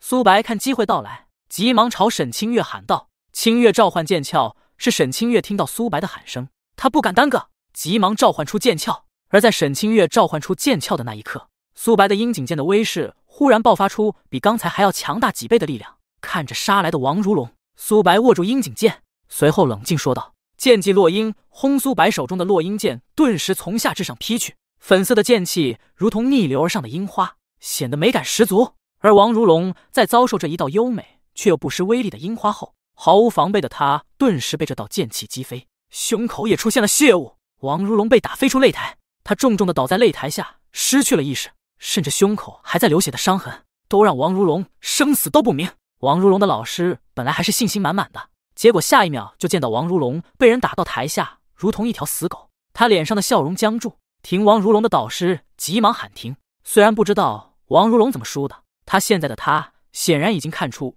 王如龙无法战斗了。裁判走上擂台，随后直接宣布了苏白和沈清月的胜利。而众人见到苏白居然在瞬息之间就直接展开攻势，击败了王如龙，所有人都纷纷欢呼，庆祝着苏白的胜利。众人在惊讶之余，也纷纷感慨道：“这就是天骄之战啊！每每只是一个瞬间就可以结束战斗。同样都是天骄，可王如龙居然连苏白的一招都扛不住，这就是差距嘛！看来天骄之中同样也有着巨大的差距啊！王如龙和苏白对我们来说都是天才，可苏白对王如龙来说同样也是天才。随着苏白胜利，岳阳高中和清月高中两大学院的比试也到此结束，而结果自然是苏白所在的清月高中获胜。”有着苏白这个必胜利刃所在，清月高中几乎是以碾压式的胜利拿下了岳阳高中。而在这场两大学院的大赛之中，苏白这等恐怖实力，成功的震撼了整个江省乃至全国。不说全国，但至少在江省，现在人人都知道了，江北市的一所小高中内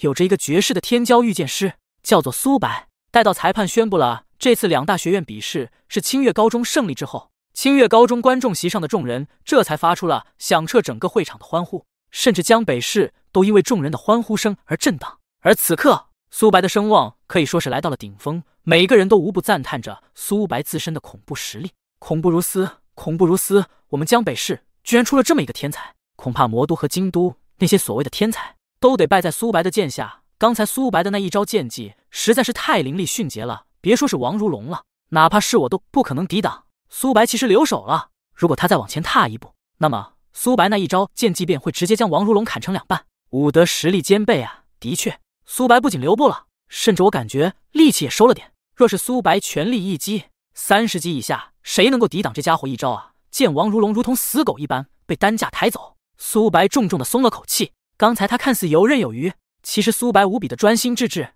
苏白既要化解王如龙的招式，又要保留自身最大的体力。可以说，每一步苏白都是在刀尖上跳舞，稍稍不小心，估计苏白就会落入万丈深渊。虽然苏白身上没有着伤势，但这才是正常的。一旦一名御剑师身上有了伤势，那他的反应和速度都会大幅度下降，这在战斗之中是最为致命的。稍微反应或者速度跟不上，那迎接的将是无尽的打击。一招败，招招败，这句话最适合御剑师，所以苏白要么不出手，一出手便绝对是杀招。这同样也是苏白作为御剑师的战斗考量。苏白重重松了一口气，刚才那招剑技是苏白磨练了很久才磨练出来的单独剑技，虽然没有合体剑技强大，但胜在方便，自己一个人也可以使用。苏白满脸笑意的走向沈清月，毕竟经历过这场战斗，苏白可是学到了不少。苏白走到了沈清月身旁，却发现沈清月闷闷不乐的。苏白有些疑惑，便看向低头的沈清月，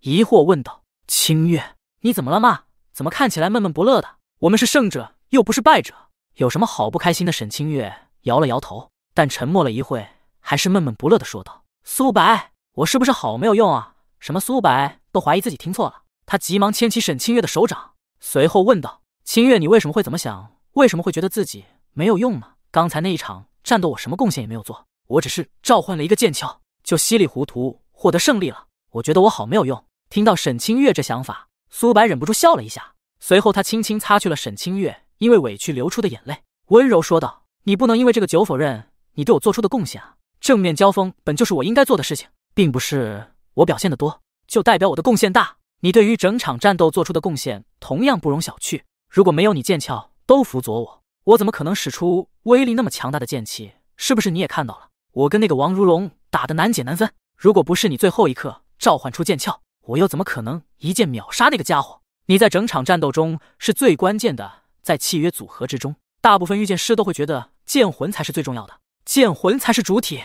实则不然，剑魂和剑鞘同样都或缺不可。剑鞘无法作战，这是的确无法改变的，但这并不代表剑鞘就没有用了。剑鞘能够帮助剑魂发出更强大的力量，能够帮助御剑师修炼速度增加，能够使出更强的合体剑技。剑鞘的作用绝对不会比剑魂少。而沈清月就陷入这么一个想不通的路子当中。如果苏白不将他拉出来，那沈清月就将要抱着这个思想一直陪着苏白走下去。剑鞘本身的作用是很大的，但如果沈清月一直觉得自己没有用，那慢慢的可就真的没有用了。所以苏白劝导沈清月，可不仅仅是为了沈清月，更是为了他自己这个契约对象。沈清月实力下降，苏白自身也会受到影响，这就是契约组合。听到苏白的劝解，沈清月好似想明白了一些，他抬头看向苏白，求证的问道：“你真的这样想吗？”看着沈清月这副可爱模样，苏白忍不住的揉了揉他的头，随后笑道：“当然是真的了，我什么时候骗过你？走吧，比赛结束了，咱们离开这里吧。寒夜老师请我们吃获胜大餐。”沈清月似乎被苏白的笑容感染了，他脸上也露出了笑意。他笑着重重的点点头，道：“好。”苏白牵着沈清月的手，缓缓走下擂台。可就在俩人走下擂台之后，一名看起来十分儒雅的中年男子朝着苏白和沈清月走来。“苏白同学，清月同学，请留步！”听到那儒雅男子喊着自己，苏白和沈清月都停下了脚步，疑惑的看向儒雅男子。儒雅男子走向俩人，随后递出了两张名片。苏白和沈清月接过，随后儒雅男子便微笑道：“我是岳阳高中的校长张伟。”听到是岳阳高中的校长，而苏白才刚刚将岳阳高中的王如龙给打到担架上，苏白担心对方或许是来报复的。虽然大庭广众之下，这男子也不会动手，但谁说的准呢？苏白将沈清月微微拉到身后，随后用着戒备的目光看着儒雅男子道：“大叔，你不会是来找我赔医药费的吧？”看着苏白这戒备的目光和谨慎的语气，张维不禁哑然失笑。他摇了摇头，随后对苏白微笑道：“当然不是了，苏白同学。”我们岳阳高中还没有小气到这种地步。我是来邀请苏白同学和沈清月同学加入我们岳阳高中，换句话说就是转学。转学，苏白和沈清月有些懵了，不知道张维这是搞的什么套路，自己把他学校的学生打了，他扭头就可以把来把自己招揽进自己学校内，这好吗？就在苏白和沈清月疑惑之时，又是好几名领导模样的中年男子走向苏白，不停的对苏白诉说着岳阳高中的好处。苏白同学，你是不清楚。我们岳阳高中的资源有多丰富啊！只要你愿意来我们岳阳高中修炼，资源少不了你的。对啊，对啊，苏白同学，你看看你现在所待的清月高中，你走到现在这一步，清月高中有给过你一丝一毫的帮助吗？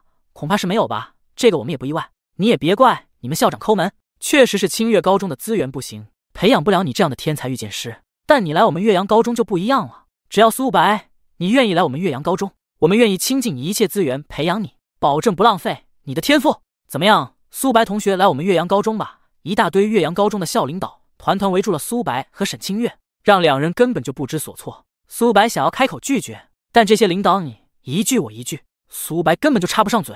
沈清月就更没指望了，内向的他直接将头埋进了苏白的背后，连头都不敢抬起来，就更别说说话了。正当苏白和沈清月无助之时，黄忠的声音便直接从不远处传来了：“老张，当我的面抢我的学生，你有些不厚道了吧？”苏白和沈清月朝着声音传出的方向看去，发现黄校长居然也带着一大堆校领导朝着两人走了过来。两所学校的领导都聚在了一起，气氛顿时剑拔弩张。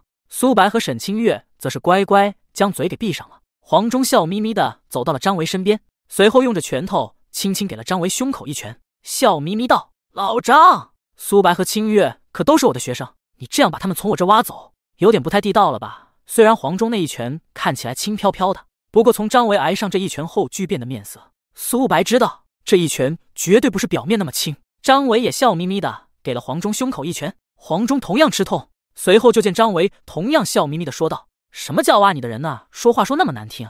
我这是给两位同学介绍着我们岳阳高中的好处呢。毕竟我说的都是实话嘛，是实话吗？”黄忠笑眯眯的回了一句，随后又给了张维胸口一拳。这一拳的力道显然不轻，居然直接给张伟打的后退了两步。当然是实话了。张伟同样不甘示弱的还了黄忠一拳，而两人就这样开始你一拳我一拳的打了起来。两边的校领导知道，这两人要是再这样下去，恐怕就得打起来了，于是他们紧忙将自家校长拉开，俩人都打出了火气。张伟直截了当的对苏白许诺道：“苏白，只要你愿意来我们岳阳高中，我们愿意拿出所有给予其他天骄的修炼资源给你，供你一人修炼。”见到张维这么说，黄忠同样不甘示弱的表示：“苏白，只要你留在清月高中，我愿意每天都给你安排高阶异兽的血肉，可以增进你的修为。来岳阳高中灵气国管保留清月高中气血果，随便吃行了。”见到两个学校的领导都还在争。不知是哪个校领导喊了一声，俩人也停止了争吵。张维怒气冲冲的瞪了黄忠一眼，随后对苏白保证道：“苏白，过段时间你不是得去参加江北市的天骄大赛吗？我们岳阳高中给你保证，我们会给你安排整个江北市最强大的御剑师给你进行特训，保证让你的实力突飞猛进。还不止如此，只要你愿意来我们岳阳高中，我们可以给你最顶尖的宝物和修炼资源，保证让你的境界在天骄大赛之前突破到二十级。凭你的天赋。”再加上我们岳阳高中的资源，这次天骄大赛你绝对可以获得前三名。听着岳阳高中开出来的条件，苏白颔首思考着，看起来像是在做着打算。苏白这副模样，清月高中的人可就急了呀。清月高中本来只是一所籍籍无名的小高中，是因为苏白才变得出名的。若是苏白离开了，那清月高中的金字招牌可就砸了，又得被打回原形了。哪怕苏白只是在考虑，但苏白的考虑对清月高中的众人那可是敲响了一个警钟。苏白若是走了，那对清月高中可是巨大的损失。清月高中的副校长急忙对苏白说道：“苏白，只要你愿意留在清月高中，我们清月高中的资源一样会倾尽到你身上，并且学校内的灵气室你无限制的使用，只要你开心就好。”看着两边的校领导都满眼期待的看着自己，苏白无奈的对满脸期盼的张维笑道：“抱歉了，张校长，但我还是选择留在清月高中。多谢你的好意了。”见到苏白拒绝。张伟脸上难免露出了一抹失落和遗憾，但还是对苏白笑道：“没事的，苏白同学。之后若你还想来我们岳阳高中，我们岳阳高中的大门随时向你敞开。”而众人见到苏白居然被争相邀请，不得不感慨：人跟人的差距居然能大到这种地步。其他人要是想进入岳阳高中，不仅得托关系送礼，还得到处求人，就这样都不一定能进。苏白倒是好，人家校长求着他进，还开出了一大堆别人想都不敢想的条件。但就是这样，苏白都没有过去，众人难免心中有些骂娘，但更多的是无奈。这就是天骄跟旁人的逆天差距啊！两大学院的比试结束了，观众席上的众人纷纷离开了会场，而苏白和沈清月也打算离开。就在两人即将离开之时，清月高中的副校长王娜却将苏白和沈清月喊住：“苏同学，沈同学，先等等！”苏白和沈清月再度扭头停下脚步，苏白挠了挠头。随后，对着这名看起来实在是普通无比的中年妇女，疑惑问道：“校长，您还有事吗？”王娜看了看一旁，确定没有其他人之后，她走进苏白，随后对苏白说道：“苏白，学校过两天将会组织一次实战模拟，这件事情你应该知道吧？”苏白点了点头。这件事，叶之遥早就跟他提过了，毕竟叶之遥作为班主任，自然会提前知道这件事情，所以早就告诉苏白和沈清月了。而参加人选。则是苏白所在的年纪的所有人，也就是今年才觉醒的觉醒生。都会参加实战模拟。其实俩人早点知道也不算什么坏事，毕竟有着更多的准备时间，这也算是两人的一点小特权吧。至于所谓的实战模拟，其实就是学生们在导师的保护下，前往外方的异兽战场进行实战。所谓的实战，就是需要御剑师们去跟异兽面对面的进行战斗，这是真正的生死之战，而不是像苏白那样在赛场上的点到为止。在与异兽的战斗中，异兽不会在裁判下令之后才开始战斗，也不会在你没有还手之力的时候就停手。与异兽战斗，需要比与其他御剑师战斗小心谨慎百倍，不然丢失的可不是荣誉，而是性命。但话虽这样说，校方肯定会做好保护措施的，尽量保证着每一名新兴御剑师的生命安全。毕竟这只是实战模拟，可不是什么战争。省里面会适当的给一些死亡名额，但名额也是有限的，所以学校依旧会十分小心的保护着所有学生。且校方安排去的地方是异兽战场的最外围，那里面只有一些低级的异兽。中级异兽是十分少见的，再加上还有着老师们的保护，安全还是能够勉强保证的。不过总的来说，危险程度依旧不低就是了。再怎么说也是异兽，那是没有感情的东西，他们可不会知道什么叫做留守。御剑师的地位之所以那么高，正是因为外界有着无数的异兽需要去抵挡，而人类那些简单的机枪大炮，在面对异兽就显得十分无力。只有御剑师才能够对异兽们造成大量的伤害，所以御剑师的地位。才会越来越高，但不是每个人都可以成为御剑师的，并不是觉醒之后便可以成为御剑师。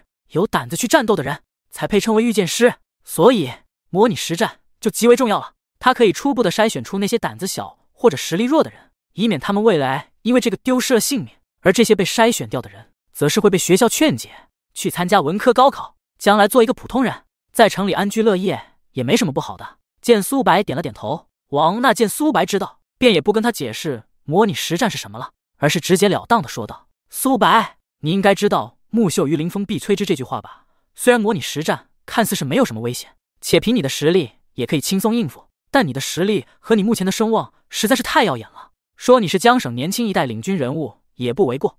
有着那么高涨的声望，有人会崇拜你，但同样的，也有人会仇恨你。你如此耀眼，总是会有一些坏心眼的家伙来给你下绊子的，特别是在这次的模拟实战上。所以。”我希望你可以小心一点。听着王娜校长的劝告，苏白心中流过一股暖流，随后他重重点点头道：“校长您放心吧，我一定会小心的。”见苏白如此，王娜也稍稍放下心来。随后，苏白便与沈清月离开了会场。离开途中，沈清月表情十分担忧的问苏白道：“苏白，到时候会不会真的有人给你下绊子？那岂不是很危险？”看着沈清月这副担忧模样，苏白则是笑了笑，随后温柔问道：“怎么有我在？”你还害怕？沈清月摇了摇头，随后对苏白说道：“我没有害怕，但是如果会有人给你下绊子的话，不如我们还是不去了吧。放心吧。”苏白对沈清月宽慰了一句，随后苏白继续安慰道：“总不可能我们知道会有人给我们找麻烦，我们就不去了吧？那跟临阵脱逃有什么区别？这次的模拟实战，我一定会参加。至于会有什么麻烦，那就让他来了。”苏白的话语尽显少年的锐气。如果他有了如此强大的天赋，还畏畏缩缩的话，那系统是用来做什么吃的？至于麻烦，苏白的目光看向远方，他凌厉的目光尽显傲气。我会用我手中的剑将他们统统斩断。正在学校内闲逛的顾妍希的手机忽然响起，他不耐烦的拿起一看，发现是自己干爹打来的。顾妍希环顾了一下四方，随后走到一个角落处，接听了电话。干爹顾妍希一接起电话，就甜甜都对着电话那头喊了一句“干爹”，这嗲嗲的声音差点就让电话那头的王富贵龙抬头了。王富贵安抚了一下心情。随后嗨嗨两声说道：“女儿，你们学校的那个苏白，麻烦的时候到了。你们学校过两天会安排苏白那个年级的学生进行一次模拟实战，到时候我会给苏白找点麻烦，保证让那家伙不会好过。”顾妍希经历过一次模拟实战，他自然知道这是什么。听到终于可以报复苏白了，顾妍希脸上的笑意就止不住。那太谢谢干爹了，乖女儿，跟我客气什么？有空来干爹家玩。干爹最近养了条金鱼，有空过来看看。顾妍希怎么会不明白金鱼是什么？他又与王富贵打情骂俏的一会，随后才挂断电话。挂断电话之后，顾妍希脸上的甜美缓缓转变成冷笑。他冷笑的呢喃道：“苏白，这一次我一定要让你好看。”两大学院的交流赛过后，经过几天的调养生息，也终于到了模拟实战这一天。对于要前往异兽战场进行对战，众人并没有什么意外的神色。毕竟往年也会举行模拟实战这类活动，只不过大家不知道具体时间罢了。清月高中都校门口。无数要参加实战模拟的队伍站在门外，而他们的身后是数十辆即将带着众人前往异兽战场的大巴车。叶之遥看着班内整齐的队伍，他拿着名单开始一一点名：王虎到，黄山到，苏白到。待到叶之遥确认众人已经到齐之后，叶之遥合上名单，随即对班内众人交代了一些注意事项。交代完之后，叶之遥大喝一声道：“上车！”众人纷纷如潮水般涌进大巴车之内。众人此刻欢呼雀跃，似乎还不明白即将面对的模拟实战将有多大的危险。待到众人上车之后，苏白和沈清月才缓缓坐上车。俩人坐在了车辆的后排，至少显得清静一点。清月高中的所有人都上了大巴车之后，大巴车开始缓缓行驶，朝着江北市市外的郊区驶去。没过多久，大巴车就缓缓开出了江北市外，而车内众人看着远处的残垣断壁，内心的兴奋和焦躁。终于出现了一丝不安。苏白同样透过窗外看着远处的废墟，其中的墙壁上还有着异兽撕咬的痕迹。哪怕只是远远观望，苏白都能够感受到其中弥漫的死气，即将要与异兽面对面作战。苏白若说心中没有一点点紧张是不可能的，但叶之遥也说了，给他们安排的都是一些低阶异兽，可以轻易对付，这让苏白紧张的内心也舒缓了下来。苏白看向一旁的叶之遥，发现沈清月看着窗外的破败景象。他下意识的咽了咽口水，紧张之情都溢到了脸上。苏白笑了笑，沈清月这紧张的模样让人更增添了一丝保护欲。苏白轻轻握住了沈清月那冰冷的手掌，随后轻声道：“没什么好害怕的，我还在你身边。”苏白的话语对于沈清月仿佛有着魔力。沈清月的微微颤抖的身子渐渐安定了下来，她不再去看着窗外的场景，而是红着脸低头，不知在想着什么。片刻之后，一道细纹般小的声音传进了苏白的耳边：“谢谢。”面对沈清月的道谢，苏白依旧只是笑笑。相比于俩人之间的暧昧，大巴车内的气氛已经逐渐弥漫了恐慌。众人看着窗外的场景，他们内心此刻已经被不安占据，脸上哪里还有笑意，全部都只剩下不安。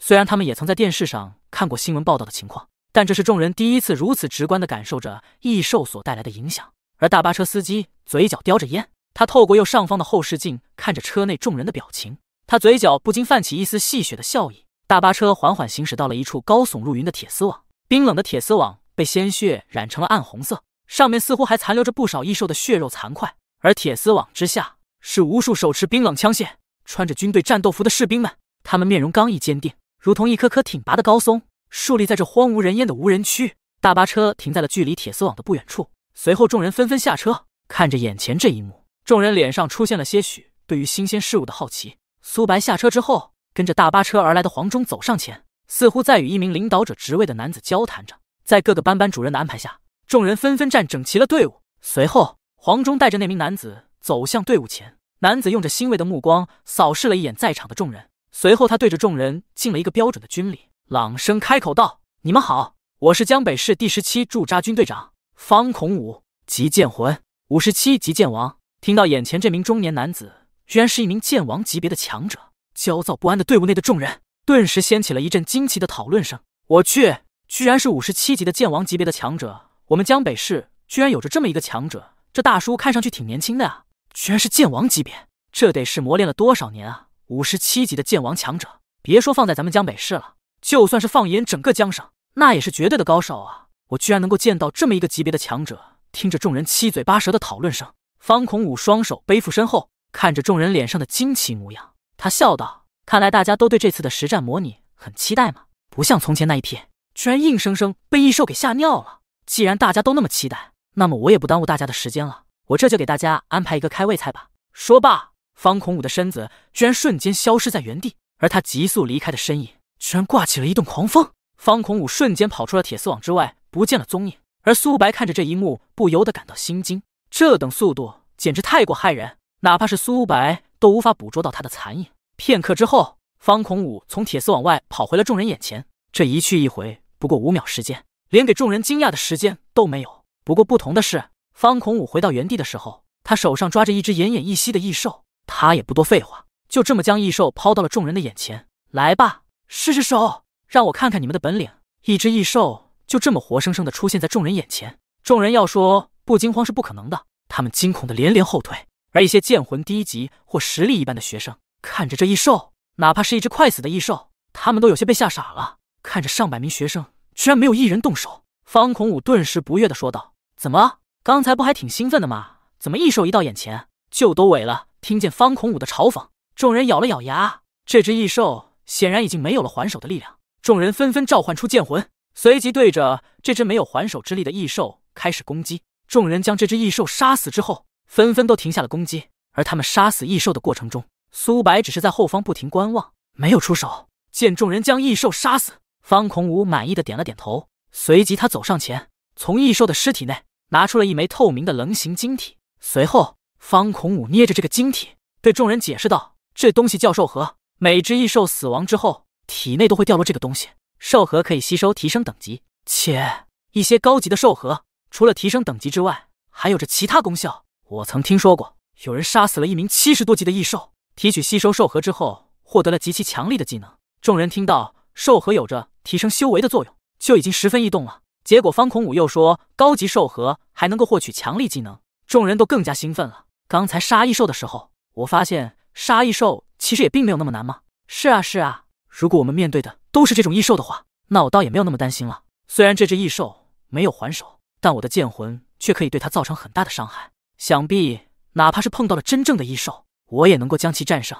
众人杀死第一只异兽之后，纷纷信心大增，哪里还有刚才的害怕模样？全都兴奋地讨论着杀死异兽的成就感，且方孔武还说，能够从异兽身上获取兽核，不仅能够提升修为，还可以获取强力技能，都更加异动。众人现在信心满满，恨不得现在就杀到战场外围，开始去击杀异兽。方孔武看着众人这副干劲十足的模样，他眼中愈发满意。毕竟，只有敢跟异兽面对面战斗的人，才能够称之为御剑师。不过，方孔武为了众人的安全，还是对兴奋的众人解释道。我还是要跟各位明说一句，你们刚才击杀的只不过是毫无还手能力的异兽，真正的异兽可不会站在原地挨打。你们之中大部分都只不过是学生罢了，资历尚浅，最多也不过是参加过几场比赛，跟别的御剑师战斗过几场。但是与异兽的战斗，跟与御剑师的战斗是完全不同的。说到这，方孔武的神情变得肃穆，一股肃杀之气瞬间扫荡了队伍内，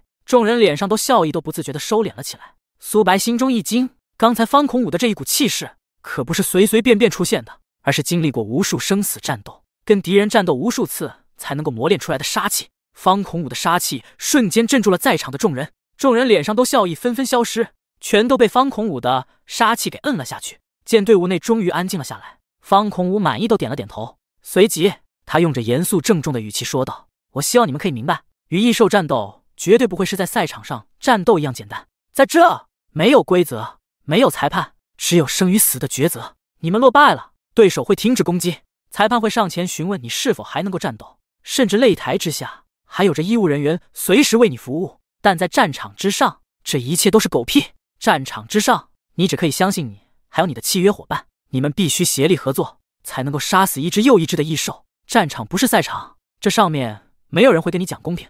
异兽不会因为你认输就放弃攻击，他们只会狠狠地撕咬你的喉咙，结束你的生命。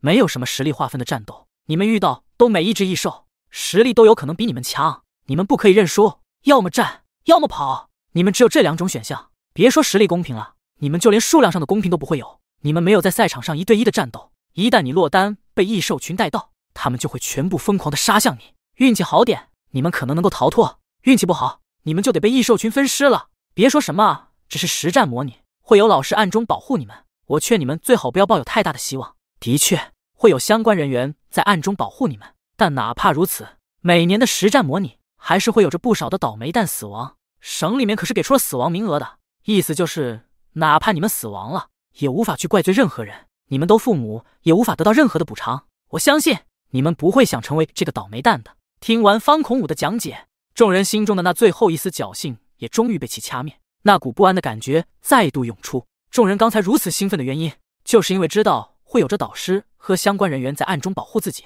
所以众人才如此有恃无恐。可正如方孔武所说，哪怕有着导师们的保护，每年还是会有一些有恃无恐的倒霉蛋死在异兽手中。众人自然不想成为这个倒霉蛋。看着气氛逐渐变得紧张的队伍，黄忠担忧的看向一旁的方孔武，随即担忧的小声道：“是不是给孩子们太大压力了？”方孔武瞥了黄忠一眼，随后淡淡说道：“现在让他们害怕，总好过之后在战场上付出生命的代价要好。”随即，众人开始分组，准备前往战场外围战斗。而苏白作为本届最强者，自然受到了无数人的追捧，纷纷求着进入苏白的队伍。看着如此狂热的众人，苏白头都大了。苏白握住沈清月的手，随即便挑了几个实力不错或者看着面善、不会拖后腿的人，组成了一个五人的小队。而见苏白的队伍已经满人了，众人只能遗憾的去寻找其他人组队。不过一会，散乱的众人再度组成了各自的小队。苏白的队伍内除了沈清月，其余人都不怎么熟，另外几人都只是同校的同学而已，实力倒也能够说得过去。而其余人都只是四人队伍。苏白的队伍之所以是五人，是因为还有着一名转校生。这名转校生只是近期刚刚转来清月高中的，且还没有契约剑桥。苏白感觉其实力不错，便邀请了他。